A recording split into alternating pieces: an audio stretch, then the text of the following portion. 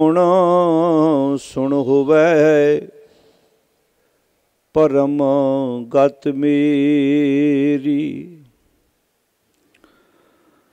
ਜਲਨ 부ਜੀ ਸੀਤਲ ਹੋਏ ਮਨੁਆ।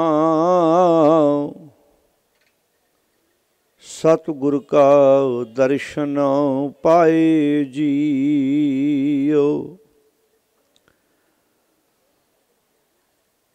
ਤੇਰੇ ਕਵਨ ਕਵਨ ਗੁਣ ਕਹਿ ਕਹਿ ਗਾਵਾਂ ਤੂੰ ਸਾਹਿਬ ਗੁਣੀ ਨਿਧਾਨਾ ਤੁਮਰੀ ਮਹਿਮਾ ਬਰਨ ਨ ਸਕਉ ਤੂੰ ਠਾਕੁਰ ਊਚ ਭਗਵਾਨਾ। ਇਕ ਓੰਕਾਰ ਸਤਨਾਮ ਕਰਤਾ ਪੁਰਖ, ਨਿਰਭਉ, ਨਿਰਵੈਰ ਅਕਾਲ ਮੂਰਤ, ਅਜੂਨੀ ਸੈ ਭੰ ਗੁਰ ਪ੍ਰਸਾਦ ਆਸਾ ਬਾਣੀ ਭਗਤ ਧੰਨੇ ਜੀ ਕੀ। ਭਰਮਤ ਫਿਰਤ ਬਹੁ ਜਨਮ ਬਿਲਾਨੇ।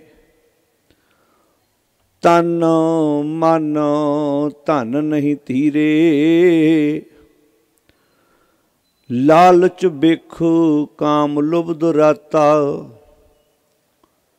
ਮਨ ਬਿਸਰੇ ਪ੍ਰਭ ਹੀਰੇ। ਭਰਮਤ ਫਿਰਤ ਬਹੁ ਜਨਮ ਬਿਲਾਨੇ। ਤਨ ਮਨ ਧਨ ਨਹੀਂ ਧੀਰੇ। ਲਾਲਚ ਬਿਖ ਕਾਮ ਲੁਬਦ ਰਾਤਾ।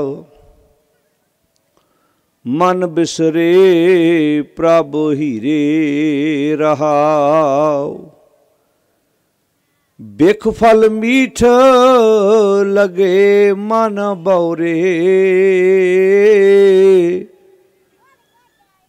ਚਾਰ ਵਿਚਾਰ ਨ ਜਾਣਿਆ। ਗੁਣ ਤੇ ਪ੍ਰੀਤ ਵੱਡੀ ਅਨਭੰਤੀ। ਜਨਮ ਮਰਨ ਫਿਰ ਤਾਨਿਆ। ਜੁਗਤ ਜਾਣਾ ਨਹੀਂ ਹਿਰਦੈ ਨਵਾਸੀ। ਜਲਤ ਜਾਲ ਜਮ ਫੰਦ ਪਰੇ। ਬਿਖ ਫਲ ਸੰਚ ਭਰੇ ਮਨ ਐਸੇ। ਪਰਮ ਪੁਰਖ ਪ੍ਰਭ ਮਨ ਬਿਸਰੇ। ਗਿਆਨ ਪ੍ਰਵੇਸ਼ ਗੁਰੈ ਧਨ ਦੀਆ। ਧਿਆਨ ਮਾਨ ਮਨ ਏਕ ਮਏ ਪ੍ਰੇਮ ਭਗਤ ਮਾਨੀ ਸੁਖ ਜਾਣਿਆ। ਤ੍ਰਿਪਤ ਅਘਾਨੇ ਮੁਕਤ ਭਈ। ਜੋਤ ਸਮਾਏ ਸਮਾਨੀ ਜਾਂ ਕੈ। ਅਸ਼ਾਲੀ ਪ੍ਰਭ ਪਹਿਚਾਨਿਆ। ਧਨੈ ਧਨ ਪਾਇਆ ਧਰਣੀ ਧਰ। ਮਿਲ ਜਨ ਸੰਤ ਸਮਾਨਿਆ। ਜੋਤ ਸਮਾਏ ਸਮਾਨੀ ਜਾਂ ਕੈ। ਅਛਲੀ ਪ੍ਰਭ ਪਹਿਚਾਨਿਆ। ਧਨੈ ਧਨ ਪਾਇਆ ਧਰਨੀ ਧਾਰੋ। ਮਿਲ ਜਾਣਾ ਸੰਤ ਸਮਾਨਿਆ।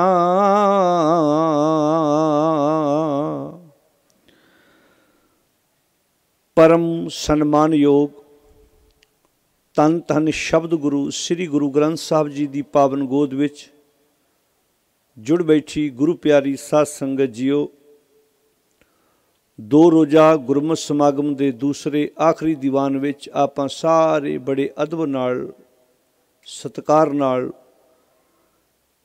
ਹਾਜ਼ਰੀ ਭਰ ਰਹੇ ਹਾਂ।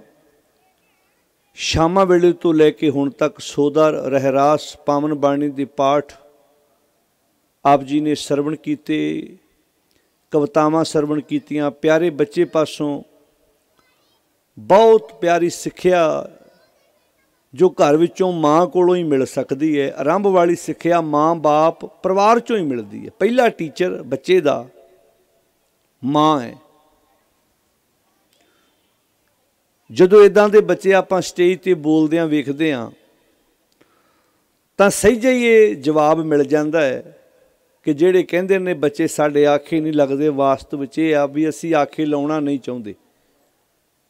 ਜੋ ਕੋ ਤੁਸੀਂ ਸਿਖਾਓਗੇ ਬੱਚਾ ਸਿੱਖੇਗਾ। ਬੱਚੇ ਤਾਂ ਪਾਣੀ ਵਰਗੇ ਨੇ, ਜਿੱਦਾਂ ਦਾ ਰੰਗ ਪਾਓ। ਲਲਾਰੀ ਕੋਲ ਪਾਣੀ ਸਿੰਪਲ ਹੀ ਹੁੰਦਾ ਉਹ ਜਿਹੜੇ ਕੱਪੜੇ ਨੂੰ ਰੰਗ ਕਰਨਾ ਉਹੋ ਜਿਹਾ ਰੰਗ ਪਾਉਂਦਾ ਤੇ ਪਾਣੀ ਉਦਾਂ ਦਾ ਰੰਗ ਹੀ ਗ੍ਰਹਿਣ ਕਰ ਲੈਂਦਾ ਜੇ ਉਹਨੇ ਕਿਸੇ ਕੱਪੜੇ ਨੂੰ ਹਰਿਆ ਰੰਗ ਕਰਨਾ ਤੇ ਉਹਨੇ ਪਾਣੀ 'ਚ ਹਰਿਆ ਪਾ ਦੇਣਾ, ਉਹਨੇ ਨੀਲਾ ਕਰਨਾ ਤੇ ਨੀਲਾ ਪਾ ਦੇਣਾ, ਉਹਨੇ ਕੋਈ ਲਾਲ ਕਰਨਾ ਤੇ ਲਾਲ ਪਾ ਦੇਣਾ ਉਹ ਪੀਲਾ ਕਰਨਾ ਚਾਹੁੰਦਾ ਹੈ, ਕਾਲਾ ਕਰਨਾ ਚਾਹੁੰਦਾ ਹੈ। ਪਾਣੀ ਤਾਂ ਧਰਤੀ ਵਿੱਚੋਂ ਇੱਕੋ ਜਿਹਾ ਨਿਕਲਿਆ ਸੀ। ਪਰ ਲਲਾਰੀ ਨੇ ਜਿੱਦਾਂ ਦਾ ਰੰਗ ਪਾਇਆ ਉਦਾਂ ਦਾ ਹੀ ਪਾਣੀ ਨੇ ਰੰਗ ਗ੍ਰਹਿਣ ਕਰ ਲਿਆ। ਜਿਹੜੇ ਬੱਚੇ ਨੇ ਪਾਣੀ ਦੀ ਤਰ੍ਹਾਂ ਨੇ, ਜਿੱਦਾਂ ਦੇ ਸੰਸਕਾਰ ਦਿਓਗੇ, ਜਿੱਦਾਂ ਦੇ ਵਾਤਾਵਰਣ ਚ ਪੜਨਗੇ, ਜਿੱਦਾਂ ਦੀ ਸਿੱਖਿਆ ਲੈਣਗੇ ਉਦਾਂ ਦਾ ਆਪਣੀ ਜ਼ਿੰਦਗੀ ਵਿੱਚ ਉਹ ਸਮਝ ਲੈਣਗੇ। ਤੋ ਆਓ ਬੜੇ ਪਿਆਰ ਨਾਲ ਆਪਾਂ ਸਤਿਗੁਰ ਦੀ ਗੋਦ ਵਿੱਚ ਜੁੜ ਕੇ ਬੈਠੇ ਆਂ। ਸਤਕਾਰਯੋਗ ਭਗਤ ਧੰਨਾ ਜੀ, ਜਿਨ੍ਹਾਂ ਦੀ ਰਸਨਾ ਤੋਂ ਉਚਾਰਨ ਕੀਤਾ ਹੋਇਆ ਪਾਵਨ ਸ਼ਬਦ ਰਾਗ ਆਸਾ ਵਿੱਚ ਆਪਾਂ ਸਾਰਿਆਂ ਨੇ ਸ਼ਰਵਣ ਕੀਤਾ ਭਗਤ ਧੰਨਾ ਜੀ ਦੇ ਕੁੱਲ ਗੁਰੂ ਗ੍ਰੰਥ ਸਾਹਿਬ ਜੀ ਵਿੱਚ ਤਿੰਨ ਸ਼ਬਦ ਹਨ।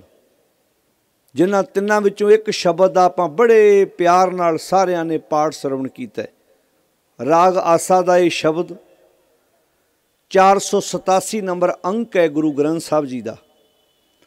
ਜਦੋਂ ਬੱਚਾ ਬੋਲ ਰਿਹਾ ਸੀ ਸਟੇਜ ਤੇ ਤੇ ਭੈਣ ਜੀ ਹੁਣੀ ਉਹਨੂੰ ਸਵਾਲ ਪੁੱਛ ਰਹੇ ਸੀ, ਤੇ ਕਈ ਤੁਸੀਂ ਸੰਗਤ ਵਿੱਚ ਬੈਠੇ ਸੋਚ ਰਹੇ ਹੋਣੇ ਨੇ ਤੇ ਵੀ ਇਹਨਾਂ ਗੱਲਾਂ ਦਾ ਤੇ ਸਾਨੂੰ ਵੀ ਨਹੀਂ ਪਤਾ। ਚਲੋ ਮੋਟੀ ਜੀ ਗੱਲ ਦਾ ਪਤਾ ਹੋਏਗਾ ਵੀ ਗੁਰੂ ਗ੍ਰੰਥ ਸਾਹਿਬ ਦੇ ਅੰਗ ਕਿੰਨੇ ਨੇ। ਗੁਰੂ ਗ੍ਰੰਥ ਸਾਹਿਬ 'ਚ ਕਿੰਨਿਆਂ ਮਹਾਂਪੁਰਖਾਂ ਦੀ ਬਾਣੀ ਹੈ। ਗੁਰੂ ਗ੍ਰੰਥ ਸਾਹਿਬ ਜੀ ਦੇ ਵਿੱਚ ਸਾਨੂੰ ਉਪਦੇਸ਼ ਕੀ ਦਿੱਤਾ ਗਿਆ ਹੈ? ਫਿਰ ਸਭ ਤੋਂ ਵੱਡੀ ਗੱਲ ਪੰਜ ਪਿਆਰੇ ਚਾਰ ਸਹਿਬਜ਼ਾਦੇ ਜਿਹੜੀਆਂ ਮੁੱਢਲੀਆਂ ਗੱਲਾਂ ਸੀ ਅੱਜ, ਮਾਫ ਕਰਨਾ, ਕਈਆਂ ਨੂੰ 35 35 50 50 ਸਾਲ ਹੋ ਗਏ ਖੰਡੇ ਦੀ ਪੌ ਲਿਆਂ ਨੂੰ। ਤੇ ਜੇ ਕੋ ਰਾਹ ਜਾਂਦਾ ਖਿਲਾਰ ਕੇ ਪੁੱਛ ਲਵੇ ਨਾ ਵੀ ਪੰਜਾਂ ਪਿਆਰਿਆਂ ਦਾ ਨਾਮ ਸੁਣਾ ਦੇ ਲੜੀਵਾਰ। ਤੇ ਉਹਨੂੰ ਹੱਥਾਂ ਪੈਰਾਂ ਦੀ ਪੈ ਜਾਂਦੀ ਹੈ। ਚਾਰ ਸਹਿਬਜ਼ਾਦਿਆਂ ਪੂਰੇ ਪੁੱਛ ਲਵੇ ਤੇ ਉਹ ਨਹੀਂ ਚੇਤਾ ਹੁੰਦਾ। ਨਾਲੇ ਤੁਸੀਂ ਜਿਸ ਨਗਰ ਵਿੱਚ ਬੈਠੇ ਹੋ ਨਾ, ਇਸ ਨਗਰ ਦਾ ਨਾਮ ਲੈਣ ਲੱਗਿਆਂ ਹੀ ਮਨੁੱਖ ਮਾਣ ਨਾਲ ਸਿਰ ਉੱਚਾ ਕਰ ਲੈਂਦਾ ਕੁਝ ਜਗ੍ਹਾ ਐਸੀਆਂ ਹੁੰਦੀਆਂ ਨੇ, ਜਿਨ੍ਹਾਂ ਦਾ ਨਾਮ ਜਦੋਂ ਬੰਦੇ ਦੇ ਸਾਹਮਣੇ ਆਉਂਦਾ ਤੇ ਇੱਕ ਵਾਰ ਸਿਰ ਤੋਂ ਲੈ ਕੇ ਪੈਰਾਂ ਤੱਕ ਬੰਦਾ ਸਰੀਰ ਲੂਈ ਕੰਢੇ ਹੋ ਜਾਂਦਾ ਵੀ ਉਹ ਧਰਤੀ ਆ। ਜਿੱਥੇ ਗੁਰੂ ਗੋਬਿੰਦ ਸਿੰਘ ਸੱਚੇ ਪਾਤਸ਼ਾਹ ਮਹਾਰਾਜ ਵਰਗੀ ਸ਼ਖਸੀਅਤ ਅਨੰਦਪੁਰ ਸਾਹਿਬ ਦੀ ਧਰਤੀ ਨੂੰ ਇੱਕ ਵਾਰੀ ਛੱਡਿਆ 1708 ਵਿੱਚ, ਪਰਿਵਾਰ ਸਮੇਤ ਇਹ ਗੱਲਾਂ ਕਹਿਣੀਆਂ ਵੀ ਬਹੁਤ ਸੌਖੀਆਂ ਤੇ ਸੁਣਨੀਆਂ ਵੀ ਬਹੁਤ ਸੌਖੀਆਂ ਨੇ। ਬੰਦਾ ਆਪਣੇ ਘਰੋਂ ਤੁਰ ਲੱਗਾ ਹੋਵੇ, ਉਹ ਵੀ ਨਾਲ ਸਾਰਾ ਟੱਬਰ ਹੋਵੇ ਤੇ ਪਤਾ ਵੀ ਹੋਵੇ ਕਿ ਇਸ ਤੋਂ ਬਾਅਦ ਇਸ ਸ਼ਹਿਰ, ਇਸ ਪਿੰਡ ਵਿੱਚ, ਇਸ ਘਰ ਵਿੱਚ ਮੈਂ ਦੁਬਾਰਾ ਨਹੀਂ ਆਉਣਾ। ਤੇ ਸੋਚ ਕੇ ਵੇਖੋ, ਦਿਲ ਜਾਣਦਾ ਆ ਬੱਚੇ ਜਦੋਂ ਵਿਦੇਸ਼ਾਂ ਨੂੰ ਭੇਜਣ ਜਾਂਦੇ ਨੇ ਮਾਪੇ, ਉਹ ਹੀ ਜਾਣਦੇ ਜਦੋਂ 에ਅਰਪੋਰਟ ਤੋਂ ਅੰਦਰ ਵਾੜ ਕੇ ਤੇ ਵਾਪਸ ਉਹਨਾਂ ਵਾਸਤੇ ਸਫ਼ਰ ਕਰਨਾ 5-7 ਘੰਟੇ ਦਾ ਕਿੰਨਾ ਔਖਾ ਹੁੰਦਾ। ਅਜੇ ਪਤਾ ਵੀ ਹੈ ਵੀ ਇਹਨੇ 2-4 ਸਾਲ 5 ਸਾਲਾਂ ਬਾਅਦ ਪੱਕੇ ਹੋ ਕੇ ਸਾਨੂੰ ਫੇਰ ਆਣ ਕੇ ਬੋਲੋ ਜੀ, ਮਿਲ ਲੈਣਾ। ਤੇ ਸੋਚ ਕੇ ਵੇਖਿਓ ਕਿੱਡਾ ਜਿਗਰਾ ਹੋਏਗਾ ਗੁਰੂ ਗੋਬਿੰਦ ਸਿੰਘ ਸੱਚੇ ਪਾਤਸ਼ਾਹ ਮਹਾਰਾਜ ਵਰਗੀ ਸ਼ਖਸੀਅਤ ਦਾ, ਜਿਨ੍ਹਾਂ ਨੂੰ ਪਤਾ ਵੀ ਹੈ ਕਿ ਮੈਂ ਆਪਣੇ ਲਖਤੇ ਜਿਗਰ ਜਿਨ੍ਹਾਂ ਨੂੰ ਆਪਣੇ ਹੱਥੀਂ ਪਾਲਿਆ ਤੇ ਆਪਣੇ ਹੱਥੀਂ ਤੋਰਿਆ, ਇਹਨਾਂ ਨੂੰ ਦੁਬਾਰਾ ਮੇਰਾ ਮਿਲਾਪ ਹਾਸਲ ਨਹੀਂ ਹੋਣਾ। ਮਾਸ਼ੀਵਾੜਾ ਸਾਹਿਬ ਦੀ ਇਹ ਪਾਵਨ ਧਰਤੀ ਜਿੱਥੇ ਆਪਾਂ ਜੁੜ ਕੇ ਬੈਠੇ ਆ ਆਓ ਸਾਧ ਸੰਗਤ ਜੀ, ਜਿੰਨਾ ਜਲਦੀ ਹੁੰਦਾ ਅਨਾਉਂਸਮੈਂਟ ਕਰ ਦਿੱਤੀ ਹੈ, ਜਿੰਨਾ ਪ੍ਰਸ਼ਾਦ ਪਾਣੀ ਛਕ ਲਿਆ, ਅੰਦਰ ਆਣ ਕੇ ਗੁਰੂ ਦੀ ਗੋਦ ਵਿੱਚ ਬੈਠੋ। ਰਲ ਮਿਲ ਕੇ ਬਾਣੀ ਦੀਆਂ ਵਿਚਾਰਾਂ ਨਾਲ ਸਾਂਝ ਪਾਈਏ, ਵਿਚਾਰਾਂ ਦੀ ਆਰੰਭਤਾ ਕਰਨ ਤੋਂ ਪਹਿਲਾਂ ਬੜੇ ਅਦਬ ਨਾਲ ਸਾਰੀ ਸੰਗਤ ਫਤਿਹ ਪ੍ਰਵਾਨ ਕਰੋ ਤੇ ਗੱਜ ਕੇ ਆਖੋ, ਸਾਧ ਸੰਗਤ ਜੀ, ਵਾਹਿਗੁਰੂ ਜੀ ਕਾ ਖਾਲਸਾ। ਵਾਹਿਗੁਰੂ ਜੀ ਕੀ ਫਗਤ। ਕੋਈ ਰਸਨਾ ਇਦਾਂ ਦੀ ਨਾ ਰਵੇ ਜਿਹੜੀ ਬਾਣੀ ਨਾ ਪੜੇ ਬੜੇ ਪਿਆਰ ਨਾਲ ਸਾਰੀ ਸੰਗਤ ਇਹਨਾਂ ਤੁਕਾਂ ਦਾ ਪਾਠ ਕਰੋ। ਫਿਰ ਆਪਾਂ ਵਿਚਾਰਾਂ ਦੀ ਸਾਂਝ ਪਾਉਨੇ ਹਾਂ। ਮੇਰੀ ਬੇਨਤੀ ਇੱਕ ਤੇ ਬੱਚਿਆਂ ਨੂੰ, ਭੈਣਾਂ ਨੂੰ ਬੇਨਤੀ ਹੈ, ਬੜੇ ਪਿਆਰ ਨਾਲ ਆਪਣੀ ਗੋਦ ਵਿੱਚ ਬਿਠਾਓ, ਤਾਂ ਕਿ ਆਪਾਂ ਟਿਕਾ ਕੇ ਆਪਣੀ ਸੁਰਤ ਨੂੰ ਗੁਰੂ ਦੇ ਸ਼ਬਦ ਵਿੱਚ ਤੇ ਗੁਰੂ ਦਾ ਉਪਦੇਸ਼ ਆਪਾਂ ਰਲ ਮਿਲ ਕੇ ਸਾਂਝਾ ਕਰ ਸਕੀਏ। ਸਾਰੀ ਸੰਗਤ ਹਾਜ਼ਰੀ ਲਵਾਓ ਜੀ। ਪਰਮਤ ਫਿਰਤ ਬਹੁ ਜਨਮ ਬਿਲਾਨੇ, ਪਰਮਤ ਫਿਰਤ ਬਹੁ ਜਨਮ ਬਿਲਾਨੇ।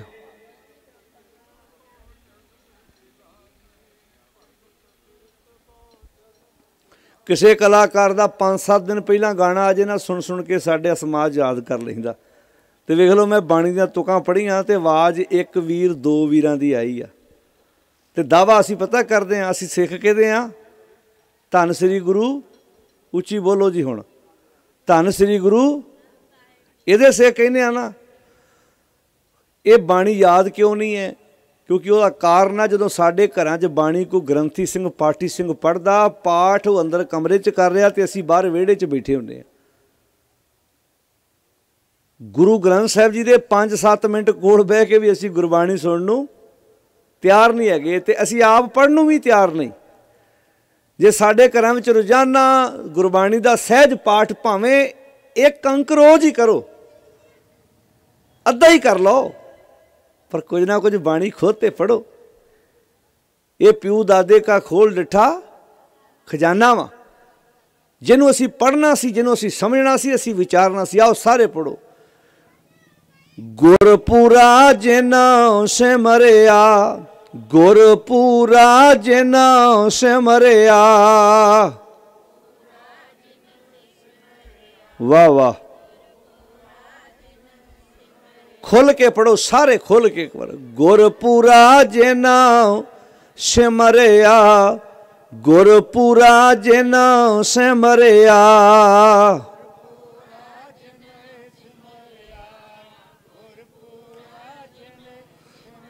ਸਈ ਪੈ ਨਿਹਾਲ ਸਈ ਪੈ ਨਿਹਾਲ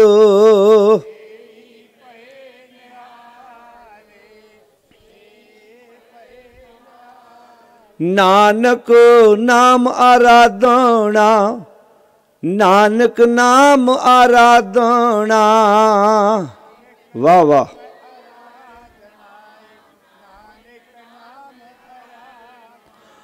ਕਾਰਜ ਆਵੈ ਰਾਸ ਕਾਰਜ ਆਵੈ ਰਾਸ।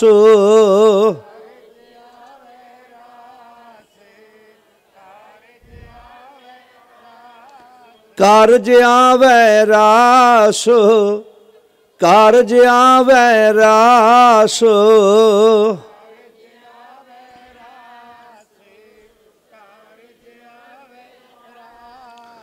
ਭਗਤ ਧੰਨਾ ਜੀ ਬਚਨ ਕਰਦੇ ਨੇ, ਭਰਮਤ ਫਿਰਤ ਬਹੁ ਜਨਮ ਬਿਲਾਨੇ। ਬਿਲਾਨੇ ਦਾ ਅਰਥ ਆ ਬੀਤ ਗਏ। ਜਨਮ ਇੱਕ ਹੈ ਜਿਹੜਾ ਸਾਡੇ ਮਾਂ-ਬਾਪ ਨੇ ਸਾਨੂੰ ਦਿੱਤਾ ਹੈ।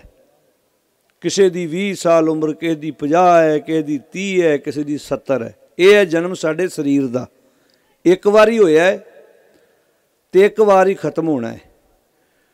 ਪਰ ਇੱਥੇ ਗੱਲ ਹੋ ਰਹੀ ਹੈ ਇਨਸਾਨ ਦੇ ਮਨ ਦੀ। ਮਨ ਦਾ ਜਨਮ ਇੱਕ ਦਿਨ ਵਿੱਚ ਕਈ ਵਾਰ ਹੁੰਦਾ ਹੈ। ਇੰਜ ਕਹਿ ਲਓ ਵੀ ਕਈ ਵਾਰ ਜੰਮਦਾ ਹੈ ਤੇ ਕਈ ਵਾਰ ਇਹ ਬੋਲੋ ਸਾਰੇ ਜੀ, ਮਰਦਾ ਹੈ। ਮਨ ਦਾ ਜਨਮ ਇੱਕ ਦਿਨ ਵਿੱਚ ਸੈਂਕੜੇ ਵਾਰ ਹੁੰਦਾ ਹੈ। ਕਿੱਦਾਂ ਹੁੰਦਾ ਹੈ? ਕਦੀ ਕਿਸੇ ਦਾ ਘਰ ਵੇਖ ਕੇ, ਕਦੀ ਕਿਸੇ ਦਾ ਤਨ ਵੇਖ ਕੇ, ਕਦੀ ਕਿਸੇ ਦੀ ਜਾਇਦਾਦ ਵੇਖ ਕੇ। ਇਹ ਇਸ ਕੰਮ ਵਿੱਚ ਭਟਕ ਰਿਹਾ ਹੈ ਭਰਮ ਰਿਹਾ ਹੈ ਜਿਹਨੂੰ ਭਗਤ ਧੰਨਾ ਜੀ ਕਹਿੰਦੇ ਭਰਮਤ ਫਿਰਤ। ਬਹੁ ਜਨਮ ਬਿਲਾਨੇ। ਇਹ ਭਟਕ ਰਿਹਾ ਹੈ ਤੇ ਕਈ ਜਨਮ ਇਹਨੂੰ ਇਹਨਾਂ ਭਟਕਦਿਆਂ ਵਿੱਚ ਹੀ ਲੰਘ ਗਏ। ਅਸੀਂ ਅਰਦਾਸ ਜਦੋਂ ਕੋਈ ਬੰਦਾ ਚੜ੍ਹਾਈ ਕਰਦਾ, ਮਗਰੋਂ ਕਰਦੇ ਆ ਕਿ ਇਹਨੂੰ ਆਵਾ ਗਾਉਣ ਤੋਂ ਮੁਕਤ ਕਰੋ ਤੇ ਜੰਮਣ ਮਰਨ ਤੋਂ ਇਹਦਾ ਖਿਹੜਾ ਛੁੱਟ ਜਾਏ। ਅਸੀਂ ਇਹੋ ਕਹਿੰਦੇ ਆਮ ਸਾਡੇ ਸਮਾਜ ਵਿੱਚ ਇਹੋ ਗੱਲਾਂ ਅਸੀਂ ਅਰਦਾਸ ਵਿੱਚ ਕਹਿੰਦੇ ਆ ਪਰ ਕਦੀ ਕਦੀ ਮਨ ਵਿੱਚ ਸੋਚਿਆ ਆਵਾ ਗਾਉਣ ਤੇ ਜਿਉਂਦੇ ਜੀ ਪਿਆ ਹੋਇਆ ਬੰਦੇ ਨੂੰ। ਜੰਮਣ ਮਰਨ ਦੀ ਕਿਰਿਆ ਤੇ ਮਰਨ ਤੋਂ ਬਾਅਦ ਨਹੀਂ, ਜਿਉਂਦੇ ਜੀ ਪਈ ਹੋਈ ਹੈ। ਕਿਵੇਂ ਹੈ? ਭਗਤ ਕਬੀਰ ਜੀ ਦਾ ਵਾਕ ਪੜੋ ਪਰ ਧਨ, ਪਰ ਤਨ ਪਰਤੀ ਨਿੰਦਾ, ਪਰ ਅਪਵਾਦ ਨ ਛੂਟੈ ਆਵਾ ਗਵਣ ਹੋਤ ਹੈ ਫੁਨ ਫੁਨ ਇਹ ਪ੍ਰਸੰਗ ਨਾ ਟੂਟੈ। ਬੰਦਾ ਇੱਕ ਦਿਨ ਵਿੱਚ ਕਿੰਨੀ ਵਾਰ ਮਰਦਾ ਹੈ? ਕਿਸੇ ਦਾ ਤਨ ਵੇਖ ਕੇ ਵੀ ਮਰ ਜਾਂਦਾ ਹੈ, ਕਿਸੇ ਦਾ ਧਨ ਵੇਖ ਕੇ ਵੀ ਮਰ ਜਾਂਦਾ ਹੈ। ਆ ਕਈਆਂ ਦੀ ਕਿਸੇ ਦੀ ਕੋਠੀ ਵੇਖ ਕੇ ਵੀ ਜਾਨ ਨਿਕਲ ਜਾਂਦੀ ਹੈ। ਕਈ ਕਿਸੇ ਦੀ ਗੱਡੀ ਵੇਖ ਕੇ ਮਰ ਜਾਂਦੇ ਨੇ, ਜਿਹਨੂੰ ਆਪਾਂ ਨਹੀਂ ਕਹਿੰਦੇ, ਫਲਾਣਾ ਤੇ ਭਾਈ ਸਾਡਾ ਘਰ ਵੇਖ ਕੇ ਉੱਚੀ ਬੋਲੋ, ਮਾਰੀ ਗਿਆ। ਹੁਣ ਤੁਸੀਂ ਇਹ ਕਹਿੰਦੇ ਹੋ ਕਿ ਭਾਈ ਮੈਨੂੰ ਤਾਂ ਖੁਸ਼ੀ ਹੁੰਦੀ ਅਗਲੇ ਦਾ ਘਰ ਵੇਖ ਕੇ। ਜੇ ਖੁਸ਼ੀ ਹੁੰਦੀ ਤੇ ਅਗਲਾ ਆਪਣੀ ਐਡੀ ਸੋਹਣੀ ਕੋਠੀ ਬਣਾ ਕੇ ਉਹਦੇ ਅੱਗੇ ਨਜ਼ਰ ਵੱਟੂ ਕਿਉਂ ਟੰਗਦਾ? ਭਾਵੇਂ ਇਹਨਾਂ ਗੱਲਾਂ ਦਾ ਕੋਈ ਮਤਲਬ ਨਹੀਂ, ਇਹਨਾਂ ਗੱਲਾਂ ਦਾ ਕੁਝ ਫ਼ਰਕ ਥੋੜਾ ਪੈਂਦਾ ਪਰ ਸਮਾਜ ਵਿੱਚ ਹੁੰਦਾ ਹੈ ਨਾ। ਕੋਈ ਬੰਦਾ ਗੱਡੀ ਲੈਂਦਾ ਹੈ, ਉਹਦੇ ਗਾੜੀ ਜੁੱਤੀ ਟੰਗ ਦਿੰਦਾ ਹੈ, ਨਿੰਬੂ ਮਿਰਚਾਂ ਬੰਦ, ਇਹਦਾ ਮਤਲਬ ਸਾਡੇ ਦਿਮਾਗ 'ਚ ਹੈ ਨਾ ਵੀ ਮੇਰੀ ਇਹ ਚੀਜ਼ ਕਿਸੇ ਨੂੰ ਚੰਗੀ ਨਹੀਂ ਲੱਗਣੀ। ਇਹਦਾ ਮਤਲਬ ਤੇ ਇਹੋ ਹੀ ਹੈ ਨਾ। ਕਿਉਂ ਸਾਧ ਸੰਗਤ ਜੀ ਬੋਲੋ? ਦਿਮਾਗ 'ਚ ਪਿਕਚਰ ਇਹੋ ਹੀ ਆ ਨਾ ਵੀ ਮੈਂ ਐਡਾ ਵਧੀਆ ਘਰ ਬਣਾਇਆ, ਇਹਦਾ ਅਰਥ ਸਾਰਿਆਂ ਨੂੰ ਮੇਰਾ ਘਰ ਚੰਗਾ, ਅੱਛਾ ਕਈ ਵਧਾਈ ਵੀ ਦਿੰਦੇ ਆ। ਬਹੁਤ ਵਧਾਈ ਹੋਵੇ ਤੁਸੀਂ ਘਰ ਬਣਾਇਆ। ਜ਼ਰੂਰੀ ਨਹੀਂ ਸਾਰੇ ਤੁਹਾਨੂੰ ਵਧਾਈ ਦੇਣ ਵਾਲੇ ਅੰਦਰੋਂ ਖੁਸ਼ ਵੀ ਹੋਣ ਤੁਹਾਡਾ ਘਰ ਵੇਖ ਕੇ। ਤੁਸੀਂ ਕਾਰ ਲੈ ਕੇ ਆਏ, ਤੁਹਾਨੂੰ ਵਧਾਈ ਦਿੱਤੀ। ਜ਼ਰੂਰੀ ਨਹੀਂ ਤੁਹਾਡੀ ਕਾਰ ਵੇਖ ਕੇ ਅਗਲੇ ਤੁਹਾਨੂੰ ਵਧਾਈ ਦੇ ਰਹੇ ਤੇ ਖੁਸ਼ ਵੀ ਹੋਣਗੇ। ਇਹਨਾਂ ਗੱਲਾਂ ਤੋਂ ਸਮਾਜ ਸਾਡਾ ਅੱਜ ਇਹ ਆਵਾਗਾਉਣ ਹੈ। ਇਹ ਹੈ ਜੰਮਣ ਮਰਨਾ। ਸਾਡੇ ਸਾਰੀ ਜ਼ਿੰਦਗੀ ਬੰਦਾ ਪਸ਼ੂਆਂ ਵਾਲੀਆਂ ਜੂਨਾਂ ਭੋਗਦਾ ਰਹਿੰਦਾ। ਤੇ ਮਗਰੋਂ ਅਸੀਂ ਉਹਦੇ ਚੜ੍ਹਾਈ ਕਰਨ ਤੋਂ ਬਾਅਦ ਅਰਦਾਸ ਕਰਦੇ ਹਾਂ ਵੀ ਮਹਾਰਾਜ ਇਹਨੂੰ ਜੂਨਾਂ ਤੋਂ ਮੁਕਤ ਕਰੋ। ਬਾਦਸ਼ਾਹ ਜੀ ਕਹਿੰਦੇ ਸਾਰੀਆਂ ਜੂਨਾਂ ਤੇ ਭੋਗੀਆਂ ਨੇ ਨਹੀਂ ਆ ਕਦੀ ਕਿਹਦਾ ਧਨ ਵੇਖ ਕੇ ਮਰ ਗਿਆ, ਕਦੀ ਕਿਹਦਾ ਧਨ ਵੇਖ ਕੇ ਮਰ ਗਿਆ, ਕਦੀ ਕਿਹਦਾ ਘਰ ਵੇਖ ਕੇ ਮਰ ਗਿਆ, ਕਦੀ ਕਿਹਦਾ ਪੁੱਤ ਧੀ ਆਖੇ ਲੱਗਾ ਵੇਖ ਕੇ ਮਰ ਗਿਆ। ਸਮਾਜ ਵਿੱਚ ਇਹੋ ਕੁਝ ਹੀ ਹੈ। ਇੱਥੋਂ ਫਿਰ ਅਗਲੇ ਦੀਆਂ ਦੁਕਾਨਾਂ ਚੱਲਦੀਆਂ। ਕੋਈ ਧਾਗਾ ਦੇ ਰਿਹਾ, ਕੋਈ ਤਵੀਤ ਦੇ ਰਿਹਾ, ਕੋਈ ਜੰਤਰ ਮੰਤਰ, ਕੋਈ ਪਾਣੀ 'ਚ ਫੂਕਾ ਮਾਰ ਮਾਰ ਕੇ ਦੇਈ ਜਾਂਦਾ। ਐਦਾਂ ਦੇ ਸਾਡੇ ਸਮਾਜ ਵਿੱਚ ਕਈ ਤਰ੍ਹਾਂ ਦੀਆਂ ਵਹਿਮ ਨੇ। ਹੁਣ ਭਗਤ ਧੰਨਾ ਜੀ ਕਹਿੰਦੇ ਨੇ, ਭਰਮਤ ਫਿਰਤ ਬਹੁ ਜਨਮ ਬਿਲਾਨੇ। ਬਹੁ ਜਨਮ ਇੱਥੇ ਮੰਨਦੇ ਆ। ਮੰਨ ਲਓ ਇੱਕ ਬੰਦੇ ਦੀ ਉਮਰ ਹੈ ਅੱਜ 50 ਸਾਲ। ਜਨਮ ਇੱਕੇ ਵਾਰੀ ਹੋਇਆ ਨਾ। ਅੱਜ ਤੋਂ 50 ਸਾਲ ਪਹਿਲਾਂ। ਤੇ ਮਰੂਗਾ ਵੀ ਇੱਕੇ ਵਾਰੀ। ਤੇ ਭਗਤ ਧੰਨਾ ਜੀ ਕਹਿੰਦੇ ਨੇ, ਜ਼ਰੂਰੀ ਨਹੀਂ, ਇਹ ਜੰਮਿਆ ਇੱਕ ਵਾਰ ਤੇ ਮਰੂ ਇੱਕ ਵਾਰ। ਇਹ ਪਤਾ ਨਹੀਂ ਇਹਨਾਂ 50 60 ਸਾਲਾਂ 'ਚ ਕਿੰਨੀ ਵਾਰ ਇਹਦਾ ਜਨਮ ਹੋਇਆ ਤੇ ਕਿੰਨੀ ਵਾਰ ਇਹ ਮਰਿਆ। ਹੁਣ ਜਦੋਂ ਕੋਈ ਚੰਗਾ ਕੰਮ ਕਰਦਾ ਹੈ, ਉਹਦਾ ਜਨਮ ਹੁੰਦਾ ਹੈ। ਚੰਗੇ ਬੰਨੇ ਤੁਰਦਾ। ਹੁਣ ਮੰਨ ਲਓ ਆਪਾਂ ਇੱਥੇ ਗੁਰੂ ਦੇ ਕੋਲ ਬੈਠੇ ਆ ਕੋਈ ਚੰਗਾ ਖਿਆਲ ਆਊਗਾ ਤੇ ਮੇਰਾ ਜਨਮ ਹੋ ਗਿਆ। ਜਦੋਂ ਮੇਰੇ ਅੰਦਰ ਚੰਗਾ ਖਿਆਲ ਨਿਕਲ ਗਿਆ, ਮਾੜੇ ਖਿਆਲ ਪੈਦਾ ਹੋ ਗਏ, ਸਮਝ ਲਓ ਮੈਂ ਮਰ ਗਿਆ। ਹੁਣ ਇੱਥੇ ਪਾਸ਼ਾ ਜੀ ਕਹਿੰਦੇ ਨੇ, ਭਰਮਤ ਫਿਰਤ ਬਹੁ ਜਨਮ ਬਿਲਾਨੇ।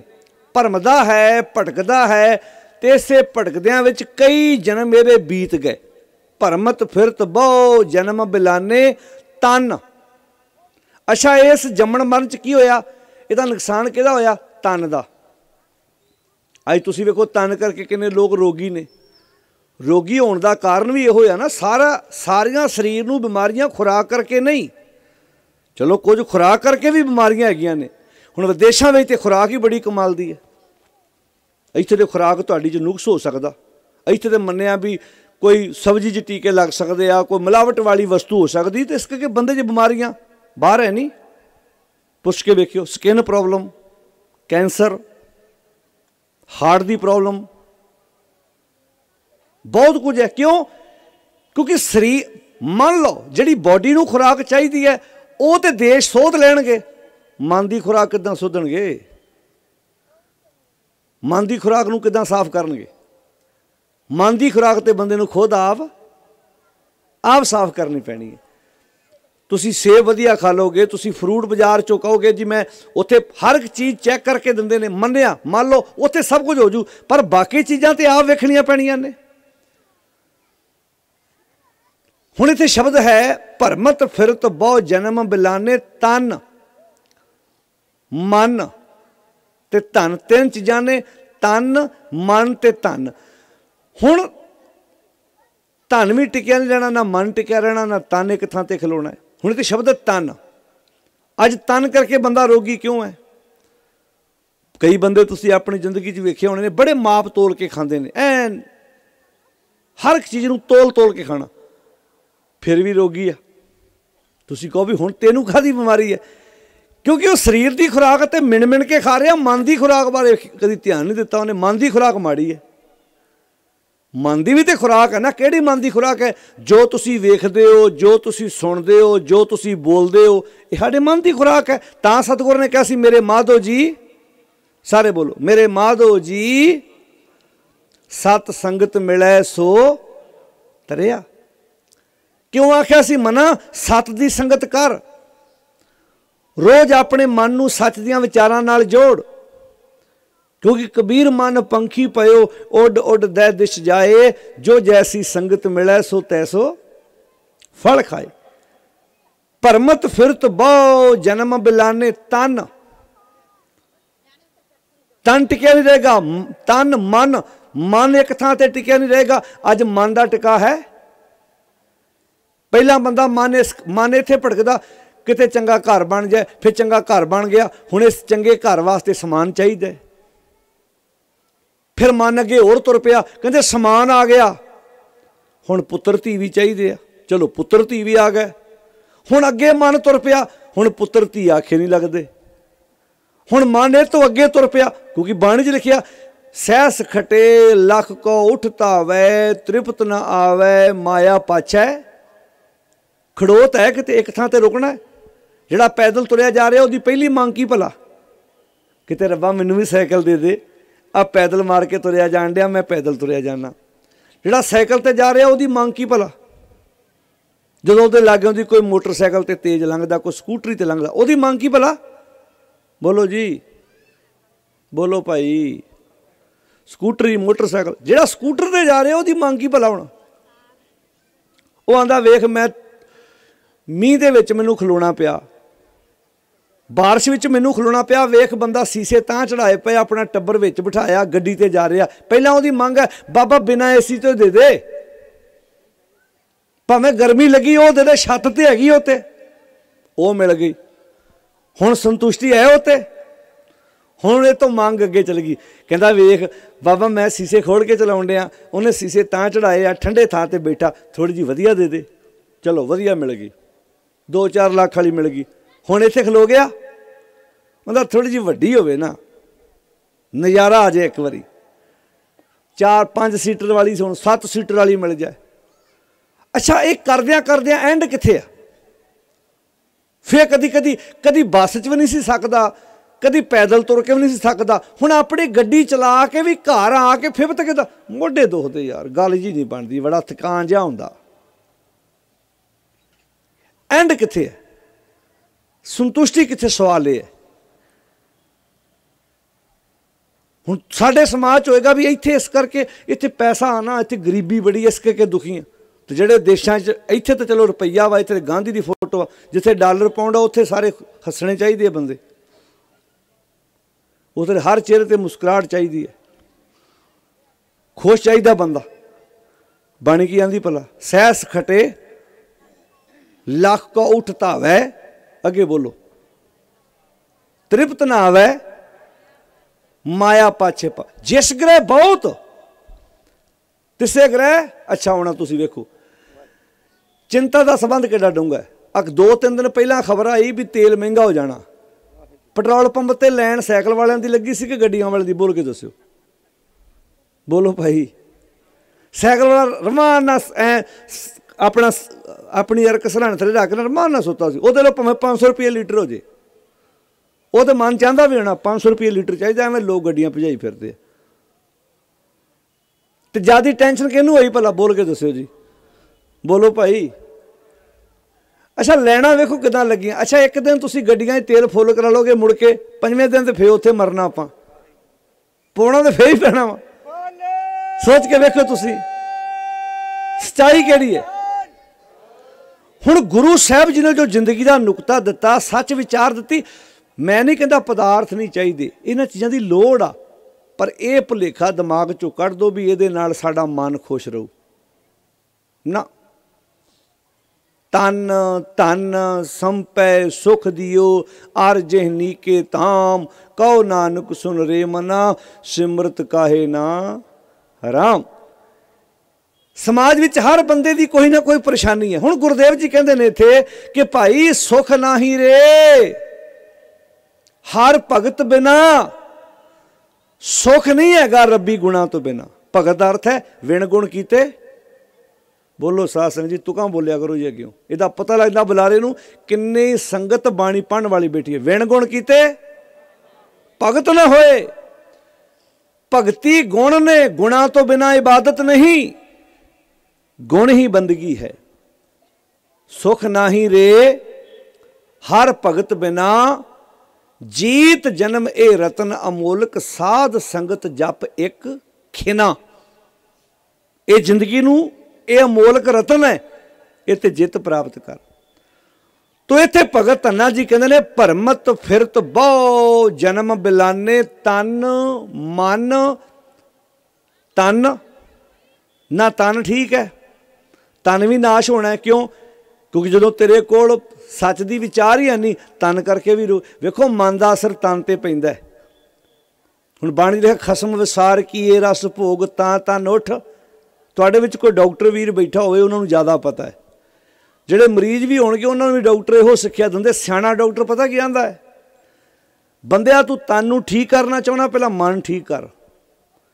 ਜਦੋਂ ਕਿਸੇ ਬੰਦੇ ਨੇ ਆਪਣੇ ਤਨ ਨੂੰ ਠੀਕ ਕਰਨਾ, ਪਹਿਲਾਂ ਮਨ ਠੀਕ ਕਰਨਾ ਪਊਗਾ। ਕਿਉਂਕਿ ਪਹਿਲਾਂ ਮਨ ਠੀਕ ਹੋਏਗਾ, ਤਨ ਬਾਅਦ ਵਿੱਚ ਠੀਕ ਹੋਏਗਾ। ਬਿਮਾਰ ਵੀ ਇਦਾਂ ਹੀ ਹੋਇਆ। ਪਹਿਲਾਂ ਮਨ ਬਿਮਾਰ ਹੋਇਆ, ਤਨ ਬਾਅਦ ਵਿੱਚ ਬਿਮਾਰ ਹੋਇਆ। ਖਸਮ ਵਿਸਾਰ ਕੀਏ ਰਸ ਭੋਗ। ਖਸਮ ਖਸਮ ਕੀਆ? ਸੱਚ ਸੱਚ ਸਭਨਾ ਕਾ? ਸਾਰੇ ਬੋਲੋ, ਸੱਚ ਸਭਨਾ ਕਾ? ਖਸਮ ਹੈ। ਤੇ ਸੱਚ ਕਿਹਨੇ ਚੇਤੇ ਰੱਖਣਾ ਸੀ? ਤਨ ਨੇ ਕਿ ਮਨ ਨੇ? ਮਨ ਨੇ। ਤੇ ਖਸਮ ਨੂੰ ਭੁਲਾਇਆ ਕਿਹਨੇ? ਮਨ ਨੇ। ਹੁਣ ਬਾਣੀ ਕਹਿੰਦੀ, ਖਸਮ ਵਿਸਾਰ। ਮਨ ਮਨ ਨੇ ਸੱਚ ਨੂੰ ਭੁਲਾਤਾ, ਵਿਸਾਰਤਾ। ਖਸਮ ਵਿਸਾਰ ਕੀ ਕੀਤਾ? ਕੀ ਇਹ ਰਸ ਭੋਗ ਰਸਾਂ 'ਚ ਪੈ ਗਿਆ, ਭੋਗਾਂ 'ਚ ਪੈ ਗਿਆ। ਗਲਤ ਵੇਖਣ ਲੱਗ ਪਿਆ, ਗਲਤ ਸੁਣਨ ਲੱਗ ਪਿਆ, ਗਲਤ ਬੋਲਣ ਲੱਗ ਪਿਆ, ਰਸਾਂ 'ਚ ਪੈ ਗਿਆ। ਕੀ ਇਹ ਰਸ ਭੋਗ? ਤੇ ਅਗਲਾ ਵਾਕ ਕੀ ਹੈ? ਤਾਂ, ਤਨ, ਉਠ, ਖਲੋਏ ਰੋਗ। ਗਲਤੀ ਮੰਨੇ ਕੀਤੀ, ਰੋਗੀ ਕੌਣ ਹੋਇਆ? ਬੋਲੋ ਸਾਧ ਸੰਗਤ ਜੀ। ਤਨ। ਜਦੋਂ ਤਨ ਰੋਗੀ ਹੋਇਆ ਤੇ ਕਿੱਥੇ ਗਏ ਅਸੀਂ? ਡਾਕਟਰ ਕੋਲ। ਡਾਕਟਰ ਸਾਹਿਬ, ਮੈਂ ਠੀਕ ਨਹੀਂ ਆ ਤੇ ਡਾਕਟਰ ਨੇ ਕੀ ਕਹਿਤਾ? ਦਵਾਈ ਲੈ ਜਾ। ਡਾਕਟਰ ਨੇ ਕਹਤਾ, ਦਵਾਈ ਲੈ ਆ। ਉਹਨੇ ਦਵਾਈ ਦੇਤੀ ਤਨ ਦੀ। ਕਿਉਂਕਿ ਮਨ ਦੀ ਤਾਂ ਦਵਾਈ ਉਹਦੇ ਕੋਲ ਹੈ ਹੀ ਨਹੀਂ ਸੀ। ਤਾਂ ਆਖਿਆ ਸੀ ਨਾ ਗੁਰੂ ਸਾਹਿਬ ਜੀ ਨੇ ਕਿ ਮੇਰਾ ਬੈਦ ਗੁਰੂ ਗੋਬਿੰਦਾ। ਹਰ ਹਰ ਨਾਮ ਔਖਦ ਮੁਖ ਦੇਵੇ। ਕਾਟੇ ਜਮ ਕੀ ਫੰਦਾ। ਡਾਕਟਰ ਕੋਲ ਦਵਾਈ ਸੀ, ਤੁਹਾਡੇ ਫੀਵਰ ਦੀ। ਡਾਕਟਰ ਕੋਲ ਦਵਾਈ ਸੀ, ਤੁਹਾਡੀ ਲੱਤ ਬਾਹ ਦਰਦ ਕਰਦੀ ਉਹਦੀ। ਪਰ ਜੇ ਤੁਹਾਨੂੰ ਲਾਲਚ ਤੰਗ ਕਰਦਾ, ਤੁਹਾਨੂੰ ਕਾਮ ਵਾਸ਼ਨਾਵਾਂ ਤੰਗ ਕਰਦੀਆਂ ਨੇ, ਤੁਹਾਨੂੰ ਈਰਖਾ ਤੰਗ ਕਰਦੀ ਏ, ਇਹਦੀ ਦਵਾਈ ਡਾਕਟਰ ਕੋਲ ਨਹੀਂ ਹੈਗੀ। ਇਹਦੀ ਦਵਾਈ ਗੁਰੂ ਕੋਲ ਸੀ। ਤੇ ਗੁਰੂ ਕੋਲ ਅਸੀਂ, ਉੱਚੀ ਬੋਲ ਕੇ ਦੱਸਿਓ, ਗੁਰੂ ਕੋਲ ਅਸੀਂ ਆਉਣ ਨੂੰ ਤਿਆਰ ਨਹੀਂ। ਗੁਰੂ ਕੋਲ ਤਾਂ ਸਵੇਰੇ ਗ੍ਰੰਥੀ ਸਿੰਘ ਕੱਲਾ ਹੀ ਪ੍ਰਕਾਸ਼ ਕਰਦਾ। ਨਾਲ ਕੋਈ ਉਹਦੇ ਦੂਜਾ ਕਈ ਵਾਰੀ ਕਈਆਂ ਗੁਰਦੁਆਰਿਆਂ 'ਚ ਪ੍ਰਕਾਸ਼ ਕਰਨ ਵਾਲਾ ਵੀ ਨਹੀਂ ਹੁੰਦਾ। ਗੁਰੂ ਦੀ ਬਾਣੀ ਤੇ ਅਸੀਂ ਵਿਸਾਰ ਚੁੱਕੇ ਆ ਹੁਣ ਸ਼ਬਦ ਹੈ ਇੱਥੇ, ਖਸਮ ਵਿਸਾਰ, ਕੀਏ ਰਸ ਭੋਗ, ਤਾਂ ਤਨ ਉਠ ਖਲੋਏ ਰੋਗ। ਅੱਗੇ ਵੇਖੋ, ਮਨ ਅੰਦੇ ਕੋ ਮਿਲੇ ਸਜਾਏ। ਵੈਦਨਾ ਭੋਲੇ। ਅੱਛਾ, ਜਦੋਂ ਤਨ ਰੋਗੀ ਹੁੰਦਾ ਨਾ, ਸਜ਼ਾ ਮਨ ਨੂੰ ਮਿਲਦੀ ਹੈ ਫਿਰ ਬੰਦਾ ਕਹਿੰਦਾ ਸਾਈ ਰਾਤ ਜਾਗਣਾ ਪਿਆ, ਨੀਂਦ ਤੇ ਆਉਂਦੀ ਨਹੀਂ। ਸਾਈ ਰਾਤ ਪਾਸੇ ਮਾਰਨੇ ਪੈਂਦੇ ਆ। ਤੇ ਆਵਾਜ਼ਾਰ ਕੌਣ ਹੁੰਦਾ ਹੁਣ? ਇਹ ਸਾਂਝ ਆ ਨਾ, ਆਪਸ ਵਿੱਚ ਤਨ ਦੀ ਤੇ ਮਨ ਦੀ। ਮਨ ਨੇ ਸੱਚ ਨੂੰ ਭੁਲਾਇਆ, ਤਨ ਰੋਗੀ ਹੋਇਆ। ਹੁਣ ਤਨ ਰੋਗੀ ਹੋਇਆ ਤੇ ਆਵਾਜ਼ਾਰ ਤੇ ਮਨ ਹੀ ਹੋ ਰਿਹਾ। ਪਰੇਸ਼ਾਨ ਤੇ ਮਨ ਹੀ ਹੈ। ਸਾਡਾ ਸਮਾਜ ਤਨ ਦੇ ਇਲਾਜ ਵਾਸਤੇ ਡਾਕਟਰਾਂ ਕੋਲ, ਵੈਦਾਂ ਕੋਲ, ਹਕੀਮਾਂ ਕੋਲ ਤੁਰਿਆ ਫਿਰਦਾ।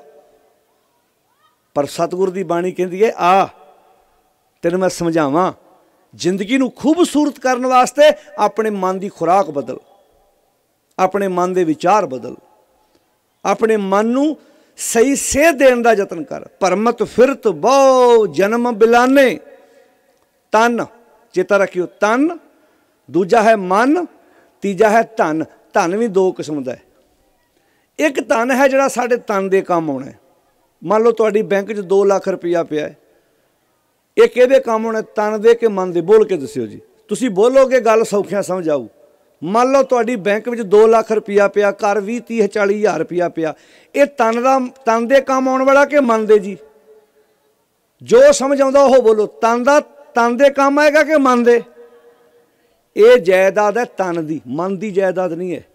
ਕਿਉਂ? ਤੁਹਾਡੇ ਕੋਲ ਪੈਸੇ ਆ, ਤੁਸੀਂ ਬੈੱਡ ਖਰੀਦਣਾ ਚਾਹੁੰਦੇ ਹੋ, ਪੈਸੇ ਨਾਲ ਬੈੱਡ ਖਰੀਦਣਾ ਗੱਦਾ ਖਰੀਦ ਲੈਂਦਾ ਸੋਫਾ ਖਰੀਦ ਲੈਂਦਾ ਇਹ ਤਨ ਦੇ ਕੰਮ ਹੀ ਆਇਆ, ਮਨ ਦੇ ਤੇ ਕੰਮ ਆਇਆ ਹੀ ਨਾ। ਅੱਛਾ, ਤੁਸੀਂ ਬਾਜ਼ਾਰ ਗਏ, ਕਰਿਆਨਾ ਸਟੋਰ, ਗਰੋਸਰੀ ਸਟੋਰ, ਉਥੋਂ ਰਾਸ਼ਨ ਲੈ ਕੇ ਆਏ, ਜਿੰਨਾ ਤੁਹਾਡੀ ਰਸੋਈ ਦੇ ਵਿੱਚ ਰਾਸ਼ਨ ਪਿਆ, ਇਹ ਤਨ ਦੀ ਖੁਰਾਕ ਹੈ ਕਿ ਮਨ ਦੀ? ਬੋਲ ਕੇ ਦੱਸਿਓ। ਇਹ ਤਨ ਦੀ ਖੁਰਾਕ, ਮਨ ਦੀ ਖੁਰਾਕ ਤੇ ਨਹੀਂ ਹੈ। ਜੋ ਆ ਫਸਲਾਂ, ਜਿੰਨੀਆਂ ਜ਼ਮੀਨਾਂ ਦੇ ਵਿੱਚ ਆਪਾਂ ਫਸਲ ਉੱਗੀ ਵੇਖ ਰਹੇ ਆ ਕਣਕਾਂ, ਜੋ ਵੀ ਕੁਝ ਹੈ ਇਹ ਤਨ ਦੇ ਕੰਮ ਆਉਣ ਵਾਲੀ ਕਿ ਮਨ ਦੇ? ਜਦੋਂ ਤੁਸੀਂ ਧਿਆਨ ਨਾਲ ਵੇਖੋਗੇ ਨਾ, ਸਾਰਾ ਕੁਝ ਕੰਮ ਹੀ ਤਨ ਦੇ ਆਉਣ ਵਾਲਾ ਹੈ। ਇਹ ਚੋਂ ਮਨ ਦੇ ਕੰਮ ਆਉਣ ਵਾਲਾ ਕਿਹੜਾ ਹੈ? ਤੇ ਦੁਖੀ ਮੈਂ ਮਨ ਕਰਕੇ ਆ ਜੇ ਘਰ 'ਚ ਚਾਰ ਤੋਲੇ ਸੋਨਾ ਪਿਆ, ਉਹ ਵੀ ਤਨ ਦੇ ਕੰਮ ਆਉਣ ਵਾਲਾ ਹੈ।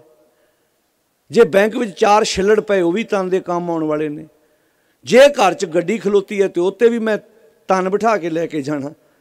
ਜੇ ਘਰ ਦੇ ਵਿੱਚ ਮੇਰੇ ਕੋਈ ਰਾਸ਼ਨ ਪਿਆ ਵੀ ਮੇਰੇ ਤਨ ਦੇ ਕੰਮ ਆਉਣਾ ਆਪਾਂ ਨੇ ਕਹਿੰਦੇ ਸਵਾਲ ਬੜਾ ਲੱਗਾ, ਆ ਆ ਚੀਜ਼ ਹੋਰ ਬਣਾਓ। ਫਿਰ ਮਨ ਦਾ ਧਨ ਕਿਹੜਾ ਹੋਇਆ? ਪੜੋ ਗੁਰੂ ਗ੍ਰੰਥ ਸਾਹਿਬ। ਅੱਜ ਸਮੱਸਿਆ ਪਤਾ ਕੀ ਹੈ? ਅਸੀਂ ਗੁਰੂ ਗ੍ਰੰਥ ਸਾਹਿਬ ਦੀਆਂ ਸਿਰਫ ਪ੍ਰਕਰਮਾ ਕੀਤੀਆਂ ਤੇ ਮੱਥੇ ਟੇਕੇ। ਕਾਸ਼ ਕਿ ਤੇਰ ਮਾਲਾ ਚੱਕ ਕੇ ਤੇ ਦਰਸ਼ਨ ਕੀਤੇ ਹੁੰਦੇ ਵਿੱਚ ਲਿਖਿਆ ਕੀ ਮੇਰੇ ਪਾਤਸ਼ਾਹ ਨੇ? ਤੋ ਪਾਤਸ਼ਾਹ ਕਹਿੰਦੇ ਨੇ, ਕਾਚਾ ਧਨ। ਸਾਰੇ ਬੋਲੋ, ਕਾਚਾ ਧਨ। ਸੰਚੈ ਮੂਰਖ ਗਵਾਰ। ਸੰਚਰੈ ਆ ਮੂਰਖ ਤੇ ਗਵਾਰ ਲੋਕ ਕੱਚਾ ਧਨ ਇਕੱਠਾ ਕਰੇ। ਇੱਥੇ ਕੱਚੇ ਧਨ ਦਾ ਅਰਥ ਪੈਸਾ ਨਹੀਂ ਹੈਗਾ। ਨਾ ਨਾ ਨਾ ਨਾ। ਜੇ ਪੈਸਾ ਹੀ ਕੱਚਾ ਧਨ ਹੋਵੇ, ਫਿਰ ਤੇ ਇਹ ਹਿਸਾਬ ਨਾਲ ਬਾਬੇ ਸਾਹਿਬ ਤੋਂ ਅੱਗੇ ਲੰਘ ਜਾਣੇ ਆ।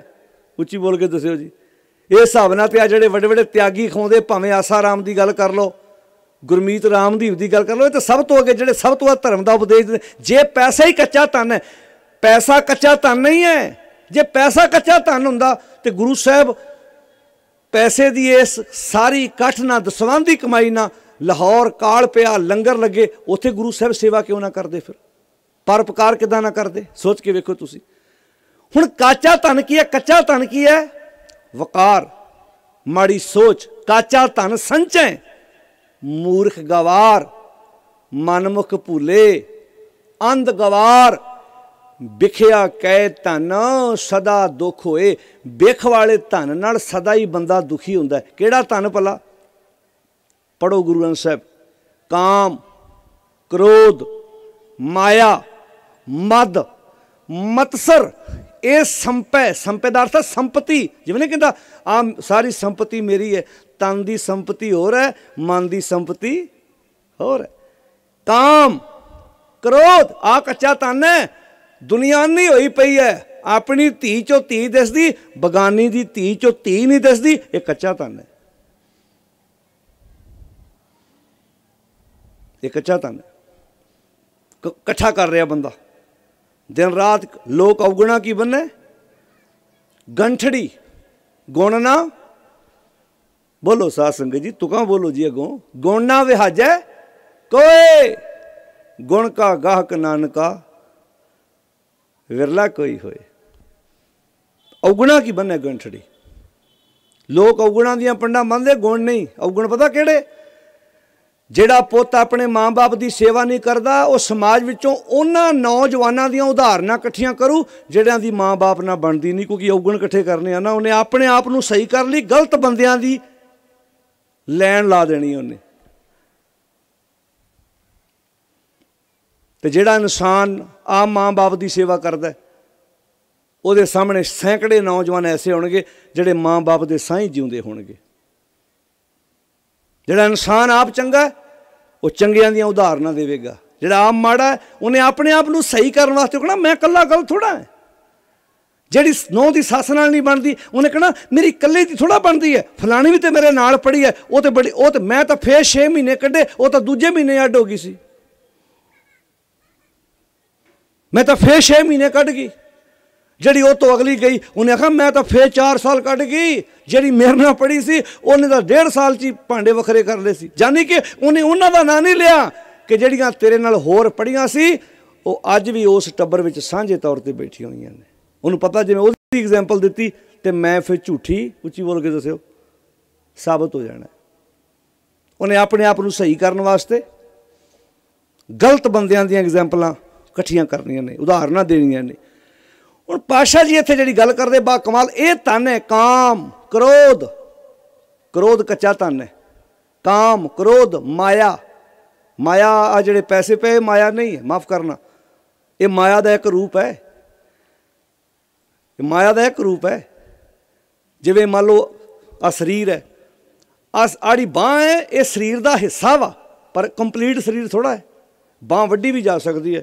ਸਰੀਰ ਫੇ ਵੀ ਜਿਉਂਦਾ ਰਹਿ ਸਕਦਾ ਹੈ। ਕਿਹਦੀ ਲੱਤ ਵੱਢੀ ਜਾਂਦੀ ਹੈ ਅਕਸਰ ਕਦੀ ਬਾਹ ਵੱਡੀ ਜਾਂਦੀ ਹੈ। ਡੈਡ ਉਧਰ ਹੋਣਾ ਜਦੋਂ ਹਾਰਟ ਰੁਕੇਗਾ। ਦਰਖਤ ਦਾ ਪਟਾਨ ਟੁੱਟ ਕੇ ਜ਼ਮੀਨ ਤੇ ਡਿੱਗਾ ਤੁਸੀਂ ਕੀ ਕਹਿੰਦੇ ਹੋ? ਟਾਣੀ ਡਿੱਗੀ ਹੈ।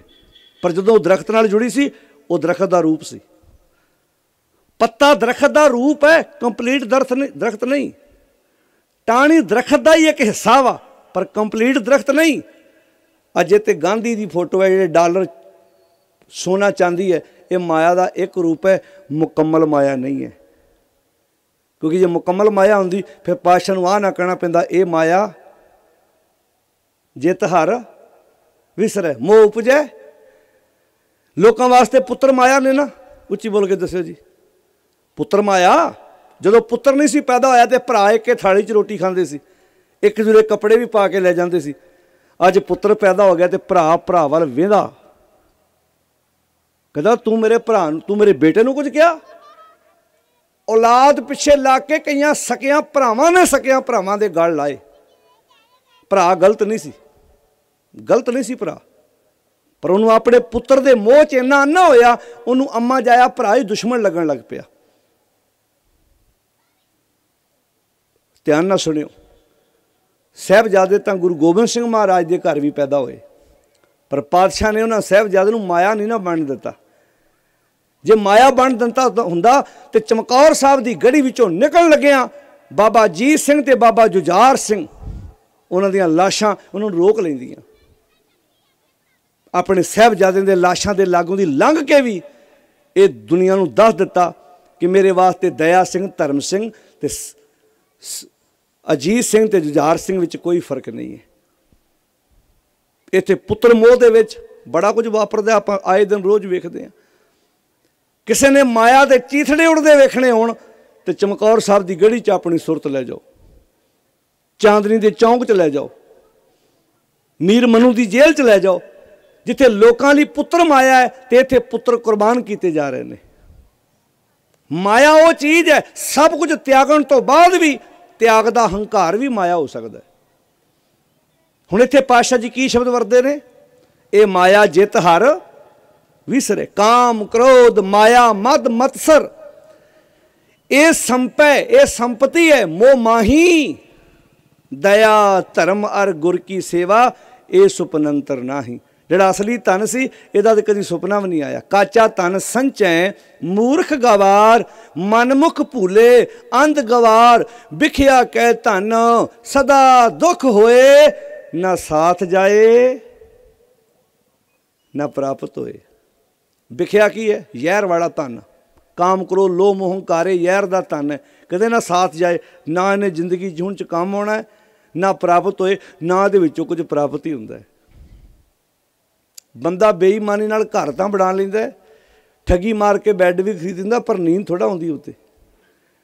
ਨੀਂਦ ਤੇ ਬੰਦਾ ਲਾਣੀ ਮੰਜੀ ਤੇ ਵੀ ਸੁੱਤਾ ਹੋਵੇ ਨਾ, ਉੱਥੇ ਵੀ ਪੂਰੀ ਕਰ ਲੈਂਦਾ ਅੱਛਾ, ਤੁਸੀਂ ਵੇਖੋ, ਕਈ ਬੰਦੇ ਨੀਂਦੀਆਂ ਨੀਂਦ ਵਾਸਤੇ ਤਰਲੇ ਮਾਰਦੇ ਫਿਰਦੇ, ਕਈਆਂ ਨੂੰ ਆਮ ਨੀਂਦ ਉਦਾਂ ਆ ਜਾਂਦੀ ਹੈ। ਗੱਲ ਤੇ ਵਿਚਾਰ ਦੀ ਹੈ, ਗੱਲ ਸਿਧਾਂਤ ਦੀ ਹੈ, ਗੱਲ ਸਮਝਦੀ ਹੈ। ਇਹਦਾ ਅਰਥ ਜੇ ਤੈਨੂੰ ਆਪਣੇ ਬੈੱਡ ਤੇ ਰਾਤ ਤੇਰੀ ਅੱਖ ਨਹੀਂ ਲੱਗ ਰਹੀ, ਕੋਈ ਚੀਜ਼ ਤੈਨੂੰ ਆਵਾਜ਼ਾਰ ਕਰ ਰਹੀ ਹੈ ਨਾ?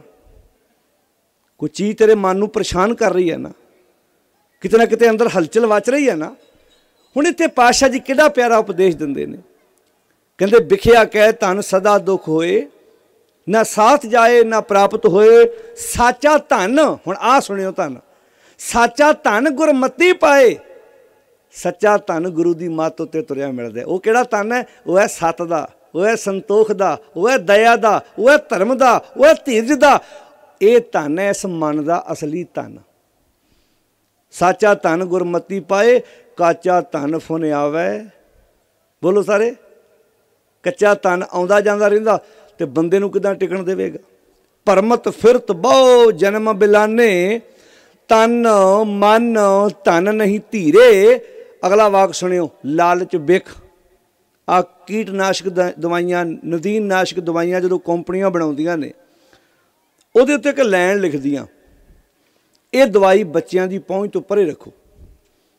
ਜਿਹੜੇ ਵੱਡੇ ਵੱਡੇ ਫਾਰਮਰ ਆ, ਉਹਨਾਂ ਨੇ ਆਪਣੇ ਸਟੋਰ ਬਣਾਏ ਹੁੰਦੇ ਨੇ, ਜਿੱਥੇ ਵੀ ਉਹਨਾਂ ਨੇ ਦਵਾਈਆਂ ਰੱਖੀਆਂ ਹੁੰਦੀਆਂ ਤਾਂ ਕਿ ਇੱਥੇ ਬੱਚੇ ਆ ਨਾ ਜਾਣ, ਬੱਚਿਆਂ ਤੱਕ ਇਹ ਦਵਾਈ ਹੱਥ ਲਾਉਣਗੇ ਤੇ ਕੋਈ ਜਿਹੜਾ ਵੱਡਾ ਬੰਦਾ ਉਹ ਸੁਚੇਤ ਹੋ ਕੇ ਦਵਾਈ ਦੀ ਵਰਤੋਂ ਕਰੇਗਾ। ਬੱਚੇ ਨੂੰ ਨਹੀਂ ਪਤਾ ਉੱਤੇ ਤੇ ਲੈਣ ਲਿਖੀ ਹੈ ਵੀ ਬੱਚਿਆਂ ਦੀ ਪਹੁੰਚ ਤੋਂ ਪਰੇ ਰੱਖੋ ਇਹ ਜ਼ਹਿਰ ਹੈ, ਨੁਕਸਾਨ ਕਰੇਗਾ ਤੁਹਾਡਾ। ਪਰ ਜਿਹੜਾ ਜ਼ਹਿਰ ਸਾਡੇ ਅੰਦਰ ਪੈਦਾ ਹੋ ਰਿਹਾ ਹੈ ਤੋਂ ਬੱਚੇ ਨੂੰ ਕਿਦਾਂ ਬਚਾਓਗੇ? ਇਹ ਜ਼ਹਿਰ ਕਿਹੜਾ ਹੈ? ਇਹ ਜ਼ਹਿਰ ਹੈ ਲਾਲਚ। ਹੁਣ ਇੱਥੇ ਸ਼ਬਦ ਹੈ ਭਰਮਤ, ਫਿਰਤ, ਬਹੁ ਜਨਮ ਬਿਲਾਨੇ, ਤਨ, ਮਨ, ਧਨ ਹੀ ਤੀਰੇ, ਲਾਲਚ ਬਿਖ ਲਾਲਚ ਵੀ ਤੇ ਇੱਕ ਜ਼ਹਿਰ ਹੈ। ਉਹ ਜ਼ਹਿਰ ਕਿੱਥੇ ਪੈਦਾ ਹੋ ਰਿਹਾ? ਇਹ ਜਿਹੜੀ ਨਦੀਨ ਨਾਸ਼ਕ ਦਵਾਈ ਹੈ, ਕੀਟਨਾਸ਼ਕ ਦਵਾਈ ਹੈ, ਇਹ ਕਿਸੇ ਫੈਕਟਰੀ 'ਚ ਬਣ ਰਹੀ ਹੈ। ਪਰ ਲਾਲਚ ਵਾਲਾ ਜ਼ਹਿਰ ਐਸ ਫੈਕਟਰੀ 'ਚ ਬਣ ਰਿਹਾ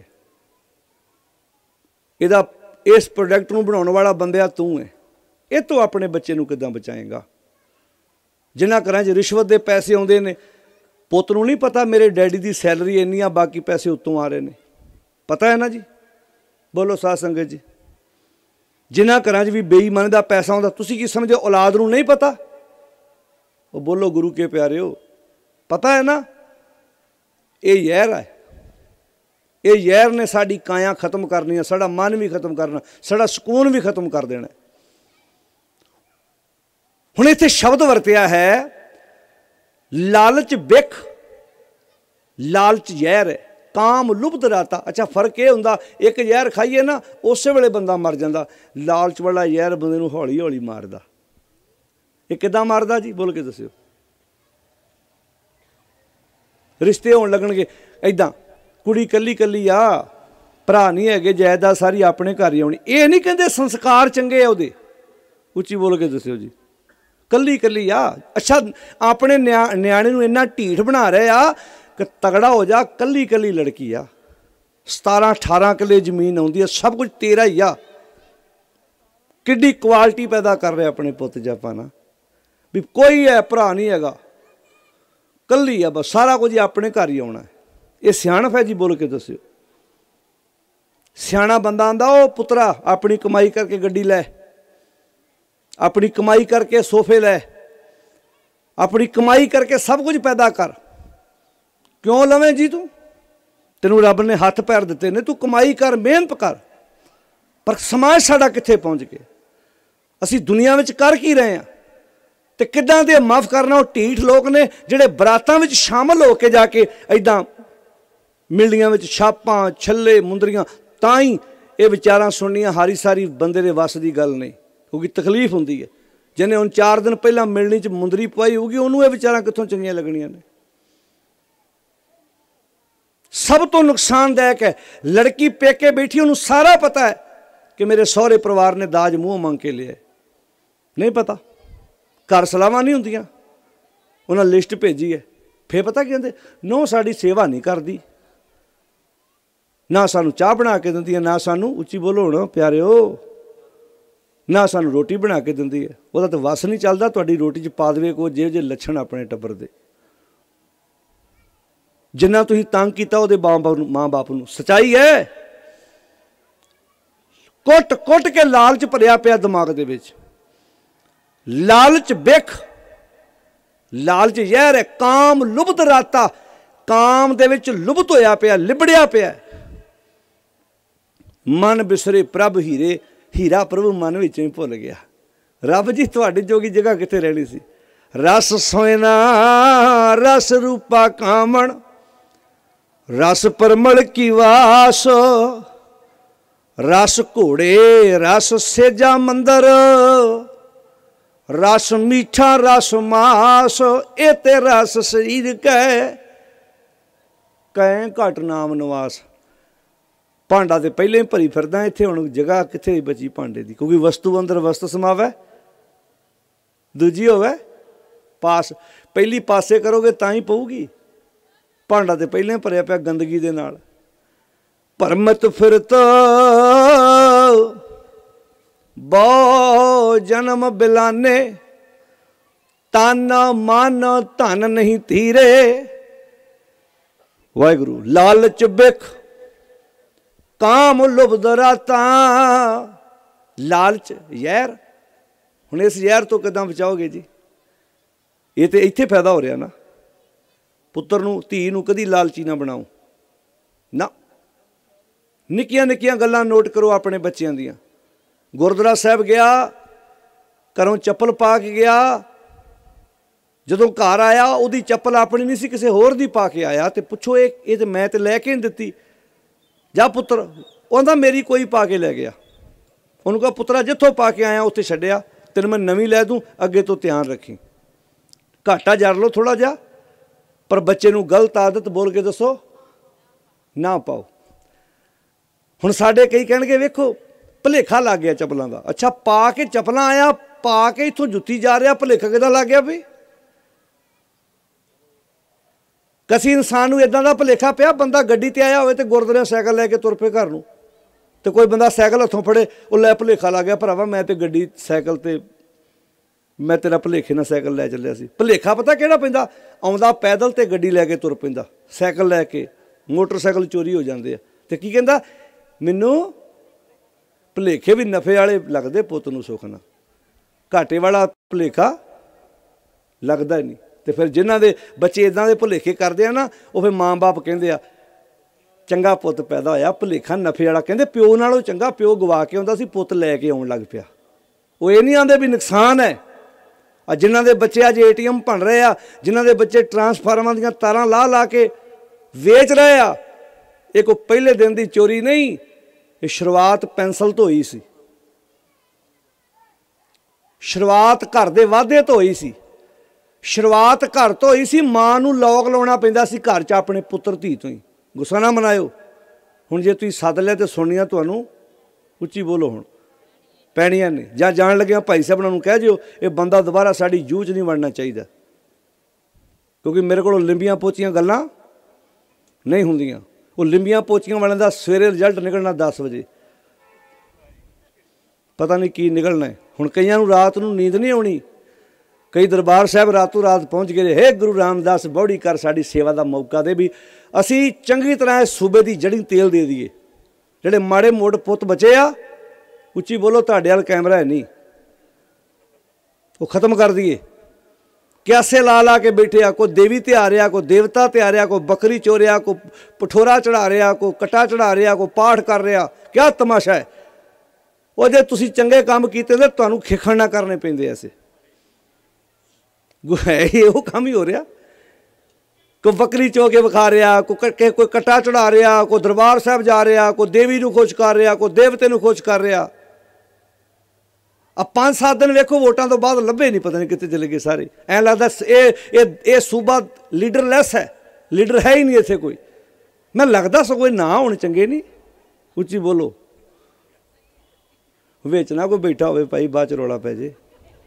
ਕਿਉਂਕਿ ਇਹ ਅੱਜ ਕੱਲ੍ਹ ਵੀ ਬੜਾ ਜੱਬ ਝੁੰਬ ਝਾਂਬ ਮਾਰ ਕੇ ਕਿਸਾਨੀ ਅੰਦੋਲਨ 'ਚ ਵੀ ਬਹਿ ਜਾਂਦੇ ਪਿੱਛੇ ਵੜ ਕੇ ਉੱਥੇ। ਅੱਛਾ, ਜੇ ਆ ਸਮਾਗਮ ਆਪਾਂ ਕਰਦੇ ਭਲਾ 18 ਫਰਵਰੀ ਨੂੰ, ਇੱਥੇ ਕੋਈ ਨਾ ਕੋਈ ਆ ਜਾਣਾ ਸੀ ਮੱਥਾ ਟੇਕਣਾ ਆਪੇ, ਆਪ ਟੋਕਣਾ ਆਪੇ। ਤੁਸੀਂ ਰੋਕਣਾ ਵੀ ਤਾਂ ਵੀ ਉਹਨਾਂ ਕਹਣਾ ਜੀ ਮੱਥਾ ਟੇਕਾਈਏ। ਹੁਣ ਗੁਰੂ ਗ੍ਰੰਥ ਸਾਹਿਬ ਦੀ ਗਾੜੀ ਨਮਸਕਾਰ ਕਿਉਂ ਨਹੀਂ ਕਰਦੇ ਵੀ ਤੁਸੀਂ? ਉਸ ਤੋਂ ਬਾਅਦ ਕਿਤੇ ਨਹੀਂ ਆਏ। ਦੱਸ ਦੋ ਜੇ ਗਲਤਾਂ ਤੇ। ਉਹ ਬੋਲੋ ਭਾਈ ਹੰਗਾਰਾ ਹੀ ਭਰ ਦਿਓ, ਹੌਸਲਾ ਮਿਲ ਜੂ, ਅਸੀਂ ਬੜੀ ਦੂਰ ਜਾਣਾ ਇਥੋਂ ਬਾਅਦ। ਹੋ ਰਿਹਾ ਕਿ ਨਹੀਂ ਹੋ ਰਿਹਾ ਐਸਾ? ਤੋ ਇਸ ਕਰਕੇ ਸਾਧ ਸੰਗਤ ਜੀ, ਗੁਰੂ ਸਾਹਿਬ ਜੀ ਨੇ ਜੋ ਵਿਚਾਰ ਬਖਸ਼ਿਸ਼ ਕੀਤੇ ਨੇ, ਬਾ ਕਮਾਲ ਹੈ। ਆਪਣੇ ਆਪ ਨੂੰ ਆਪ ਠੀਕ ਕਰੋ, ਕਿਸੇ ਤੇ ਭਰੋਸੇ ਤੇ ਨਾ ਛੱਡੋ। ਪਰਮਤ ਫਿਰਤ ਬਹੁ, ਜਨਮ ਬਿਲਾਨੇ, ਤਨ ਮਨ ਧਨ ਨਹੀਂ ਧੀਰੇ। ਲਾਲਚ ਬਿਖ ਲਾਲਚ ਜ਼ਹਿਰ, ਕਾਮ ਲੁਬਧ ਰਾਤਾ। ਮਨ ਬਿਸਰੇ, ਪ੍ਰਭ ਹੀਰੇ, ਹੀਰਾ ਪ੍ਰਭੂ, ਮਨ ਵਿੱਚੋਂ ਨਿਕਲ ਗਿਆ। ਤੇ ਹੋਇਆ ਕਿ ਮਨ ਨੂੰ? ਬਿਖ ਫਲ ਮੀਠ ਲਗੇ ਮਨ ਬੌਰੇ। 487 ਨੰਬਰ ਅੰਕ ਹੈ। ਸਵੇਰੇ ਉੱਠ ਕੇ ਪੋਥੀਆਂ 'ਚ ਜ਼ਰੂਰ ਪੜ੍ਹੇ ਹੋਏ ਸ਼ਬਦ। ਇਸ ਮਨ ਨੂੰ ਬਿਖ ਦੇ ਫਲ ਬੜੇ ਮਿੱਠੇ ਲੱਗਦੇ ਆ। 150 ਬਰਾਤ ਜਾਂਦੀ ਆ, ਲਾਵਾਂ ਤੇ 10 ਜਾਣੇ ਬੈਠੇ ਆ, ਬਾਕੀ ਸਾਰਿਆਂ ਨੂੰ ਯਹਿਰ ਵਾਲੇ ਫਲ ਮਿੱਠੇ ਲੱਗਦੇ ਆ। ਸਾਰੇ ਪੈਲਸ 'ਚ ਬੈਠੇ ਆ। ਤੇ ਪੈਲਸ ਵਿੱਚ ਵੀ ਕਿੱਥੇ ਬੈਠੇ ਆ? ਜਿੱਥੇ ਅੱਗੇ ਅੱਗੇ ਬੋਲ ਬੋਣ ਡਾਂਸ ਹੋ ਰਹੇ ਆ। ਜਿਹੜੇ ਗੁਰਦੁਆਰੇ ਇਹ ਕਹਿੰਦੇ ਸੀ ਥੋੜਾ ਸਾਊਂਡ ਹੌਲੀ ਕਰਦੇ ਮੇਰੇ ਕੰਨਾਂ ਨੂੰ ਆਵਾਜ਼ ਪੈਂਦੀ, ਉੱਥੇ ਸਭ ਤੋਂ ਅੱਗੇ ਹੋ ਕੇ ਬੈਠੇ ਆ, ਪਲੇਟਾਂ ਖੜਕ ਰਹੀਆਂ ਉੱਥੇ। ਜਿਹੜੇ ਗੁਰਦੁਆਰੇ ਕਹਿੰਦੇ ਆ, ਸਾਡੀ ਲੱਤ 'ਚ ਪੀੜ ਹੁੰਦੀ ਆ, ਸਾਡੀ ਬਾਂਹ 'ਚ ਪੀੜ ਹੁੰਦੀ ਆ, ਉਹ ਸਟੇਜ ਤੇ ਠੁਮਕੇ ਲਾ ਰਹੇ ਆ। ਬਿਖ ਫਲ ਮੀਠ ਲਗੇ ਬਲ ਬੌਰੇ ਇਸ ਮਨ ਬੌਰੇ ਨੂੰ ਜ਼ਹਿਰ ਵਾਲੇ ਫਲ ਮਿੱਠੇ ਲੱਗਦੇ ਆ।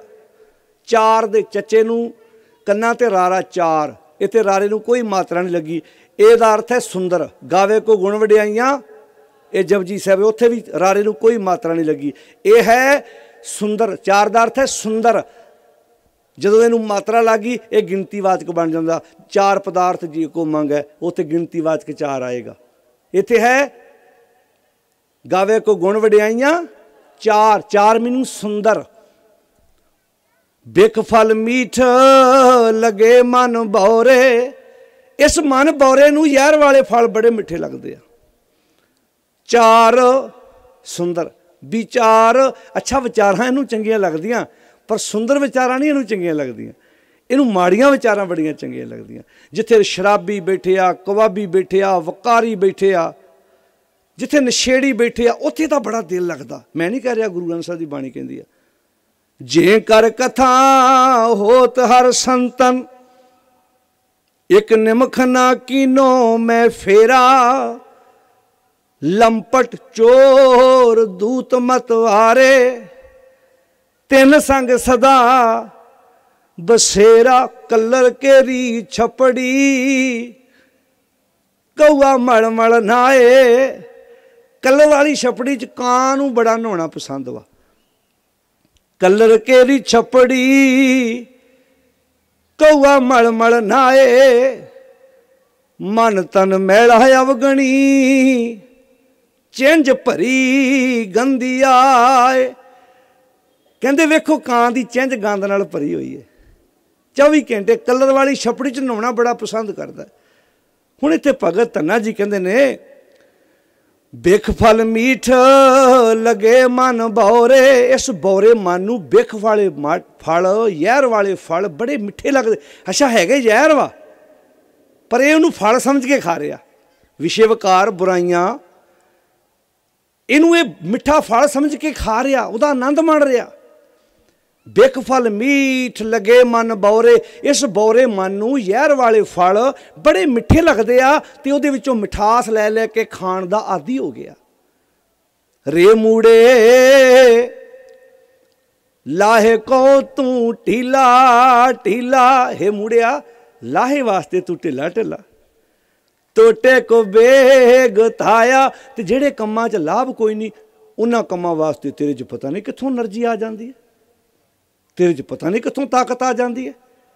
ਹੁਣ ਕਿੰਨਾ ਪਿਆਰਾ ਵਾਕਿਆ, ਬਿਖ ਫਲ ਮੀਠ ਲਗੇ ਮਨ ਬੌਰੇ, ਚਾਰ ਵਿਚਾਰ ਨਾ ਜਾਣਿਆ। ਇਹਨੂੰ ਸੁੰਦਰ ਵਿਚਾਰਾਂ ਚੰਗੀਆਂ ਨਹੀਂ ਲੱਗਦੀਆਂ। ਗੁਣ ਤੇ ਪ੍ਰੀਤ ਵੱਡੀ ਅਨ ਭਾਂਤੀ, ਗੁਣਾ ਨਾਲੋਂ ਪ੍ਰੀਤ ਇਹਦੀ ਘਟ ਗਈ ਤੇ ਔਗੁਣਾ ਨਾਲ ਪ੍ਰੀਤ ਇਹਦੀ ਵੱਧ ਗਈ। ਗੁਣ ਤੇ ਪ੍ਰੀਤ ਵੱਡੀ ਅਨ ਭਾਂਤੀ ਜਨਮ ਮਰਨ ਫਿਰ ਤਾਨਿਆ ਤੇ ਜਨਮ ਮਰਨ ਦਾ ਤਾਣਾ ਇਹਨੇ ਖੁਦ ਆਪ ਤਣ ਲਿਆ। ਇਹਨੂੰ ਕਿਸੇ ਨੇ ਨਹੀਂ ਮਾਰਿਆ। ਇਹ ਵਕਾਰੀ ਬੰਦੇ ਨੇ ਜਨਮ ਮਰਨ ਦਾ ਤਾਣਾ ਖੁਦ ਆਪ ਤਣ ਲਿਆ, ਜਨਮ ਮਰਨ ਫਿਰ ਤਾਨਿਆ ਜੁਗਤ ਜਾਣਾ ਨਹੀਂ ਹਿਰਦੈ ਨਿਵਾਸੀ ਇਹਨੇ ਪਰਮੇਸ਼ਰ ਕੋਲੋਂ, ਆਪਣੇ ਗੁਰੂ ਕੋਲੋਂ ਜ਼ਿੰਦਗੀ ਜਿਉਣ ਦੀ ਜੁਗਤ ਲੈ ਕੇ ਆਪਣੀ ਹਿਰਦੇ 'ਚ ਪੱਕੀ ਨਹੀਂ ਕੀਤੀ। ਜੁਗਤ ਗੁਰੂ ਨੇ ਦੱਸਣੀ ਸੀ। ਗੁਰੂ ਕੋਲ ਤੇ ਆਇਆ ਹੀ ਨਹੀਂ। ਜੁਗਤ ਜਾਣਾ ਨਹੀਂ ਹਿਰਦੈ ਨਿਵਾਸੀ। ਜਲਤ ਜਾਲ ਜਾਮ ਫੰਦ ਪਰੇ। ਇਹ ਵਿਸ਼ਿਆਂ ਵਕਾਰਾਂ ਵਿੱਚ ਪੈ ਕੇ ਤੇ ਸੜ ਗਿਆ। ਇਹਨੇ ਜੰਮ ਦੀਆਂ ਫਾਈਆਂ ਖੁਦ ਆਪ ਤਿਆਰ ਕਰ ਲਈਆਂ। ਬਿਖ ਫਲ ਬਿਖ ਫਲ। ਇਸ ਬੰਦੇ ਨੇ ਬਿਖ ਦੇ ਫਲ ਬਿਖ ਦੇ ਜਿਹੜੇ ਫਲ ਸੀ, ਉਹਨਾਂ ਨੂੰ ਇਕੱਠੇ ਕਰਨੇ ਸ਼ੁਰੂ ਕਰ ਦਿੱਤੇ। ਬਿਖ ਫਲ, ਮਨ ਇਹੋ ਜੇ ਭਰੇ ਆਪਣੀ ਜ਼ਿੰਦਗੀ ਦੇ ਵਿੱਚ ਕਿ ਇਹਦੀ ਜ਼ਿੰਦਗੀ ਜੋ ਪਰਮ ਪੁਰਖ ਪ੍ਰਭ ਮਨ ਬਿਸਰੇ, ਉਹਦਾ ਪਰਮ ਪੁਰਖ ਪ੍ਰਭੂ ਸੀ, ਇਹਦੇ ਮਨ ਵਿੱਚੋਂ ਹਮੇਸ਼ਾ ਲਈ ਮਨਫੀ ਹੋ ਗਿਆ, ਖਤਮ ਹੋ ਗਿਆ। ਬਿਖ ਫਲ, ਸੰਚ ਭਰੇ ਮਨ ਐਸੇ ਪਰਮ ਪੁਰਖ ਪ੍ਰਭ ਮਨ ਬਿਸਰੇ, ਮਨ ਵਿੱਚੋਂ ਉਹ ਨਿਰੰਕਾਰ ਸੱਚ ਨਿਕਲ ਗਿਆ ਕਿਉਂਕਿ ਇਹਨੇ ਸੱਚ ਦੀ ਵਿਚਾਰ ਨੂੰ ਜਗ੍ਹਾ ਨਾ ਅੰਦਰ ਦਿੱਤੀ। ਮਨ ਵਿੱਚੋਂ ਭੁਲਾ ਦਿੱਤਾ ਤੇ ਹੋਇਆ ਕਿ ਆਖਾਂ ਜੀਵਾਂ? ਵਿਸਰੇ, ਮਰ ਜਾਉ। ਜਿਉਂ ਹੀ ਇਹਨੇ ਸੱਚ ਨੂੰ ਭੁਲਾਇਆ, ਇਹ ਆਤਮਿਕ ਤੌਰ ਤੇ ਖਤਮ ਹੋ ਗਿਆ। ਗਿਆਨ ਪ੍ਰਵੇਸ਼ ਗੁਰੈ ਧਨ ਦੀਆ, ਜਿਨ੍ਹਾਂ ਨੂੰ ਗੁਰੂ ਨੇ ਪ੍ਰਵੇਸ਼ ਰੂਪੀ ਧਨ ਦੇ ਦਿੱਤਾ, ਦੇਵੀ ਗੁਣਾ ਦਾ ਧਨ ਦੇ ਦਿੱਤਾ ਉਹਨਾਂ ਦੇ ਜੀਵਨ 'ਚ ਕੀ ਫ਼ਰਕ ਪਿਆ? ਗਿਆਨ ਪ੍ਰਵੇਸ਼, ਗੁਰੈ ਧਨ ਦੀਆ, ਇਹ ਧਨ ਵੇਖੋ। ਜਿਹੜਾ ਤਨ ਦੇ ਕੰਮ ਆਉਣ ਵਾਲਾ ਧਨ ਹੈ, ਉਹ ਲੋਕੀ ਦੋ ਦੋ ਨੰਬਰ ਦੇ ਕੰਮ ਕਰਕੇ ਵੀ ਕਮਾ ਲੈਂਦੇ ਨੇ। ਤੇ ਬੜੇ ਲੋਕਾਂ ਨੇ ਡਰੱਗ ਵੇਚ ਕੇ, ਨਸ਼ੇ ਵੇਚ ਕੇ ਵੀ ਕਮਾਏ। ਪਰ ਜਿਹੜਾ ਮਨ ਦੇ ਕਮਾਉਣ ਵਾਲਾ, ਮਨ ਦੇ ਕੰਮ ਆਉਣ ਵਾਲਾ ਧਨ ਹੈ, ਉਹ ਸਿਰਫ ਗੁਰੂ ਕੋਲੋਂ ਮਿਲਦਾ ਹੈ। ਉਹ ਹੈ ਗੁਣਾਂ ਦਾ ਧਨ, ਉਹ ਹੈ ਚੰਗਿਆਈ ਦਾ ਧਨ। ਉਹ ਧਨ ਗੁਰੂ ਕੋ ਮਿਲੇਗਾ ਮਨੁੱਖ ਆਤਮਿਕ ਤੌਰ ਤੇ ਅਮੀਰ ਤੇ ਬਲਵਾਨ ਹੋਏਗਾ। ਗਿਆਨ ਪ੍ਰਵੇਸ਼, ਗੁਰੇ ਧਨ ਦੀਆ। ਜਦੋਂ ਗੁਰੂ ਨੇ ਧਨ ਦੇ ਦਿੱਤਾ, ਫਿਰ ਕੀ ਹੋ ਗਿਆ? ਧਿਆਨ। ਧਿਆਨ ਦਾ ਅਰਥ ਕੀ ਹੈ? ਸੁਰਤ ਟਿਕਣੀ। ਧਿਆਨ। ਮਾਨ ਦਾ ਅਰਥ ਹੈ ਸ਼ਰਧਾ। ਧਿਆਨ, ਮਾਨ, ਮਨ ਏਕ ਹੁਣ ਉਹਦਾ ਮਨ ਇਕਮਿਕ ਹੋ ਗਿਆ ਗੁਰੂ ਨਾਲ। ਗੁਰ ਕਿਰਪਾ ਜੇ ਨਰਕੋ ਜਾਣੀ ਤੇਹ ਜੁਗਤ ਪਛਾਨੀ।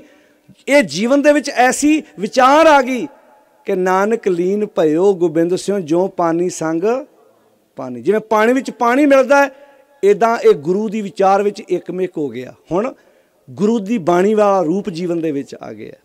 ਗਿਆਨ ਪ੍ਰਵੇਸ਼, ਗੁਰੈ ਧਨ ਦੀਆ, ਧਿਆਨ ਮਨ ਮਨ ਏਕ ਮੈਂ ਪ੍ਰੇਮ ਭਗਤ, ਪ੍ਰੇਮ ਤੇ ਭਗਤ ਦੇ ਦੋ ਸ਼ਬਦ ਵੱਖਰੇ ਵੱਖਰੇ ਨੇ। ਪ੍ਰੇਮ, ਭਗਤ, ਮਾਨੀ।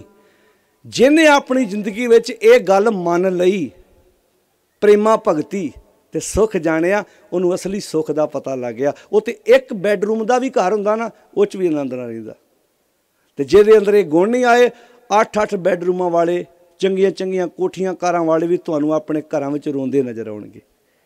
ਪ੍ਰੇਮ ਭਗਤ ਮਾਨੀ ਸੁਖ ਜਾਣਿਆ, ਜਿਸ ਧਰਤੀ ਤੇ ਆਪਾਂ ਬੈਠੇ ਆ, ਇੱਥੇ ਸਭ ਕੁਝ ਕੁਰਬਾਨ ਕਰਨ ਤੋਂ ਬਾਅਦ ਵੀ ਕਲਗੀਧਰ ਪਾਤਸ਼ਾਹ ਉਹਨਾਂ ਦੇ ਚਿਹਰੇ ਤੇ ਖੇੜਾ ਵਾ ਤੇ ਕਈ ਵਿਅਕਤੀਆਂ ਕੋਲ ਸਭ ਕੁਝ ਹੋਣ ਤੋਂ ਬਾਅਦ ਵੀ ਉਹਨਾਂ ਦੇ ਚਿਹਰੇ ਤੇ ਮੁਸਕਰਾਹਟ ਨਹੀਂ ਆਉਂਦੀ।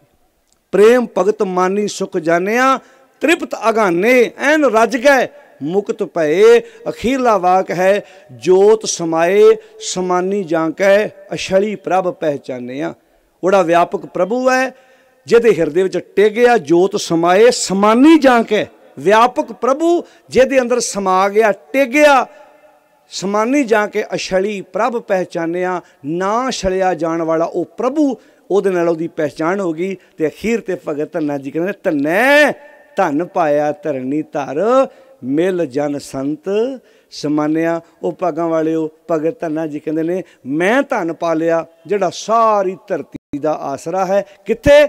ਮਿਲ ਜਨ ਸੰਤ ਸਮਾਨਿਆ, ਸਤ ਸੰਗੀਆਂ ਵਿੱਚ ਬਹਿ ਕੇ, ਗੁਰੂ ਦੀ ਵਿਚਾਰ ਵਾਲਿਆਂ ਦੇ ਵਿੱਚ ਬਹਿ ਕੇ, ਗੁਰੂ ਦੇ ਉਪਦੇਸ਼ ਨੂੰ ਸਮਝ ਕੇ, ਮੰਨ ਕੇ ਆਪਣੀ ਜ਼ਿੰਦਗੀ ਨੂੰ ਵਧੀਆ ਬਣਾ ਲਿਆ। ਆਓ, ਘਰਾਂ ਵਿੱਚ ਸਹਿਜ ਪਾਠ ਕਰੋ, ਗੁਰਬਾਣੀ ਆਪ ਪੜੋ ਗੁਰਬਾਣੀ ਦੇ ਉਪਦੇਸ਼ ਨੂੰ ਸਮਝ ਕੇ ਗੁਣ ਆਪਣੀ ਜ਼ਿੰਦਗੀ ਵਿੱਚ ਧਾਰਨ ਕਰੀਏ। ਵਹਿਮਾਂ ਪਰਮਾ ਪਖੰਡਾ, ਨਸ਼ਿਆਂ ਤੋਂ ਆਪਣੇ ਜੀਵਨ ਨੂੰ ਦੂਰ ਕਰਕੇ ਗੁਰੂ ਦੀ ਵਿਚਾਰ ਆਪਣੀ ਜ਼ਿੰਦਗੀ ਵਿੱਚ ਲਿਆਉਣ ਦਾ ਯਤਨ ਕਰੀਏ। ਹਰ ਸਾਲ ਇਹ ਪਰਿਵਾਰ ਆਪ ਸਮੂਹ ਇਲਾਕੇ ਦੀ ਸੰਗਤ ਦੇ ਸਹਿਯੋਗ ਨਾਲ ਇਹ ਗੁਰਮਤ ਸਮਾਗਮ ਲੀਕਦੇ ਨੇ। ਤੁਸੀਂ ਦੂਰਾਂ ਨੇੜਿਆਂ ਤੋਂ ਚੱਲ ਕੇ ਆਉਂਦੇ ਹੋ। ਸਾਡਾ ਫਰਜ਼ ਬਣਦਾ, ਅਸੀਂ ਵੱਧ ਤੋਂ ਵੱਧ ਐਸੇ ਪਰਿਵਾਰਾਂ ਦਾ ਸਾਥ ਦਈਏ ਤਾਂ ਕਿ ਘਰ ਘਰ ਵਿੱਚ ਗੁਰਮਤ ਦੀ ਗੱਲ ਚੱਲੇ ਤੇ ਅਸੀਂ ਗੁਰੂ ਦੇ ਉਪਦੇਸ਼ ਨੂੰ ਆਪਣੀ ਜ਼ਿੰਦਗੀ ਵਿੱਚ ਵਸਾਉਣ ਵਿੱਚ ਕਿਤੇ ਨਾ ਕਿਤੇ ਕਾਮਯਾਬ ਹੋ ਸਕੀਏ। ਆਓ, ਬੁਰਾਈ ਦਾ ਬਹੁਤ ਜ਼ੋਰ ਹੈ। ਬਸ ਚੰਗਿਆਈ ਆਪਣੀ ਜ਼ਿੰਦਗੀ ਵਿੱਚ ਸਾਨੂੰ ਖੁਦ ਬੀਜਣੀ ਪੈਣੀ ਹੈ। ਕੰਮ ਇੱਕੋ ਕਰਨਾ ਪੈਣਾ ਹੈ। ਝਾੜੂ ਲਾਉਣਾ ਪੈਂਦਾ, ਘਰ ਦੇ ਵਿੱਚ ਬੌਕਰ ਫੇਰਨੀ ਪੈਂਦੀ ਹੈ ਪੋਚਾ ਲਾਉਣਾ ਪੈਂਦਾ ਹੈ ਗੰਦਗੀ ਪਾਉਣ ਦੀ ਲੋੜ ਨਹੀਂ, ਗੰਦਗੀ ਆਪਣੇ ਆਪ ਪੈ ਜਾਂਦੀ ਹੈ ਕੰਮ ਇੱਕ ਹੀ ਕਰਨਾ ਪੈਂਦਾ ਹੈ ਕੱਪੜੇ ਸਾਫ਼ ਕਰਨੇ ਪੈਂਦੇ, ਧੋਣੇ ਪੈਂਦੇ ਨੇ, ਗੰਦੇ ਕਰਨ ਦੀ ਲੋੜ ਥੋੜਾ ਉਹ ਤੇ ਤਨ ਤੇ ਪਾਓ, ਸ਼ਾਮਾਂ ਤੱਕ ਆਪਣੇ ਆਪ ਹੀ ਮੈਲੇ ਹੋ ਜਾਣੇ ਨੇ। ਬਰਤਨ ਸਾਫ਼ ਕਰਨ ਦੀ ਲੋੜ ਹੈ ਬਰਤਨਾਂ ਨੂੰ ਗੰਦੇ ਕਰਨ ਦੀ ਵੀ ਲੋੜ ਹੈ ਉਹ ਤੇ ਜਦੋਂ ਆਪਾਂ ਸਾਰਿਆਂ ਨੇ ਪ੍ਰਸ਼ਾਦਾ ਛਕਿਆ, ਆਪਣੇ ਆਪ ਹੀ ਮੈਲੇ ਹੋ ਜਾਣੇ ਨੇ। ਬਸ ਗੱਡੀ ਕਾਰ ਵਾਸ਼ ਥਾਂ ਥਾਂ ਤੇ ਬਣੇ ਨੇ ਕੋਈ ਗੱਡੀ ਲਬੇੜਨ ਵਾਸਤੇ ਵੀ ਇਦਾਂ ਦਾ ਕੋਈ ਸੈਂਟਰ ਬਣਿਆ। ਗੱਡੀ ਧੋਣ ਦੀ ਲੋੜ ਹੈ, ਵਿੱਚ ਬਹਿ ਕੇ 150 ਕਿਲੋਮੀਟਰ ਸਫ਼ਰ ਕਰੋਗੇ, ਜੇ ਬਾਰਿਸ਼ ਪੈ ਗਈ, ਹੋ ਸਕਦਾ 2 ਕਿਲੋਮੀਟਰ ਤੱਕ ਹੀ ਗੱਡੀ ਬਾਹਰੋਂ ਗੰਦੀ ਹੋ ਜਾਏ। ਬਸ ਕੰਮ ਇੱਕੋ ਕਰਨਾ ਪੈਣਾ ਆਪਣੀ ਜ਼ਿੰਦਗੀ ਵਿੱਚ। ਕਰ ਹੁਕਮ ਮਸਤਕ ਹੱਥ ਤਰ ਵਿੱਚੋਂ ਮਾਰ ਕੱਢੀਆਂ ਬੁਰਾਈਆਂ ਗੁਰੂ ਦੇ ਸ਼ਬਦ ਦਾ ਝਾੜੂ ਲੈ ਕੇ ਆਪਣੇ ਹਿਰਦੇ ਨੂੰ ਸਾਫ਼ ਕਰੀਏ, ਗੁਰੂ ਦੀ ਵਿਚਾਰ ਜ਼ਿੰਦਗੀ ਚ ਆਵੇ, ਨਸ਼ਿਆਂ ਦਾ ਤਿਆਗ ਕਰਕੇ ਖੰਡੇ ਦੀ ਪੌਲ ਲੈ ਕੇ ਗੁਰੂ ਦੇ ਪੁੱਤਰ ਧੀਆਂ ਬਣ ਕੇ ਆਪਣਾ ਜੀਵਨ ਜਿਉਣ ਦਾ ਯਤਨ ਕਰੀਏ ਤੇ ਆਗਿਆ ਪਈ ਅਕਾਲ ਕੀ ਤਬੈ ਚਲਾਇਓ ਪੰਥ, ਸਭ ਸਿੱਖਣ ਕੋ ਹੁਕਮ ਹੈ। ਗੁਰੂ ਮਾਨਿਓ ਗ੍ਰੰਥ, ਸਤਕਾਰਯੋਗ ਭਾਈ ਸਾਹਿਬ ਹੋਣੀ ਪਹੁੰਚ ਚੁੱਕੇ ਨੇ।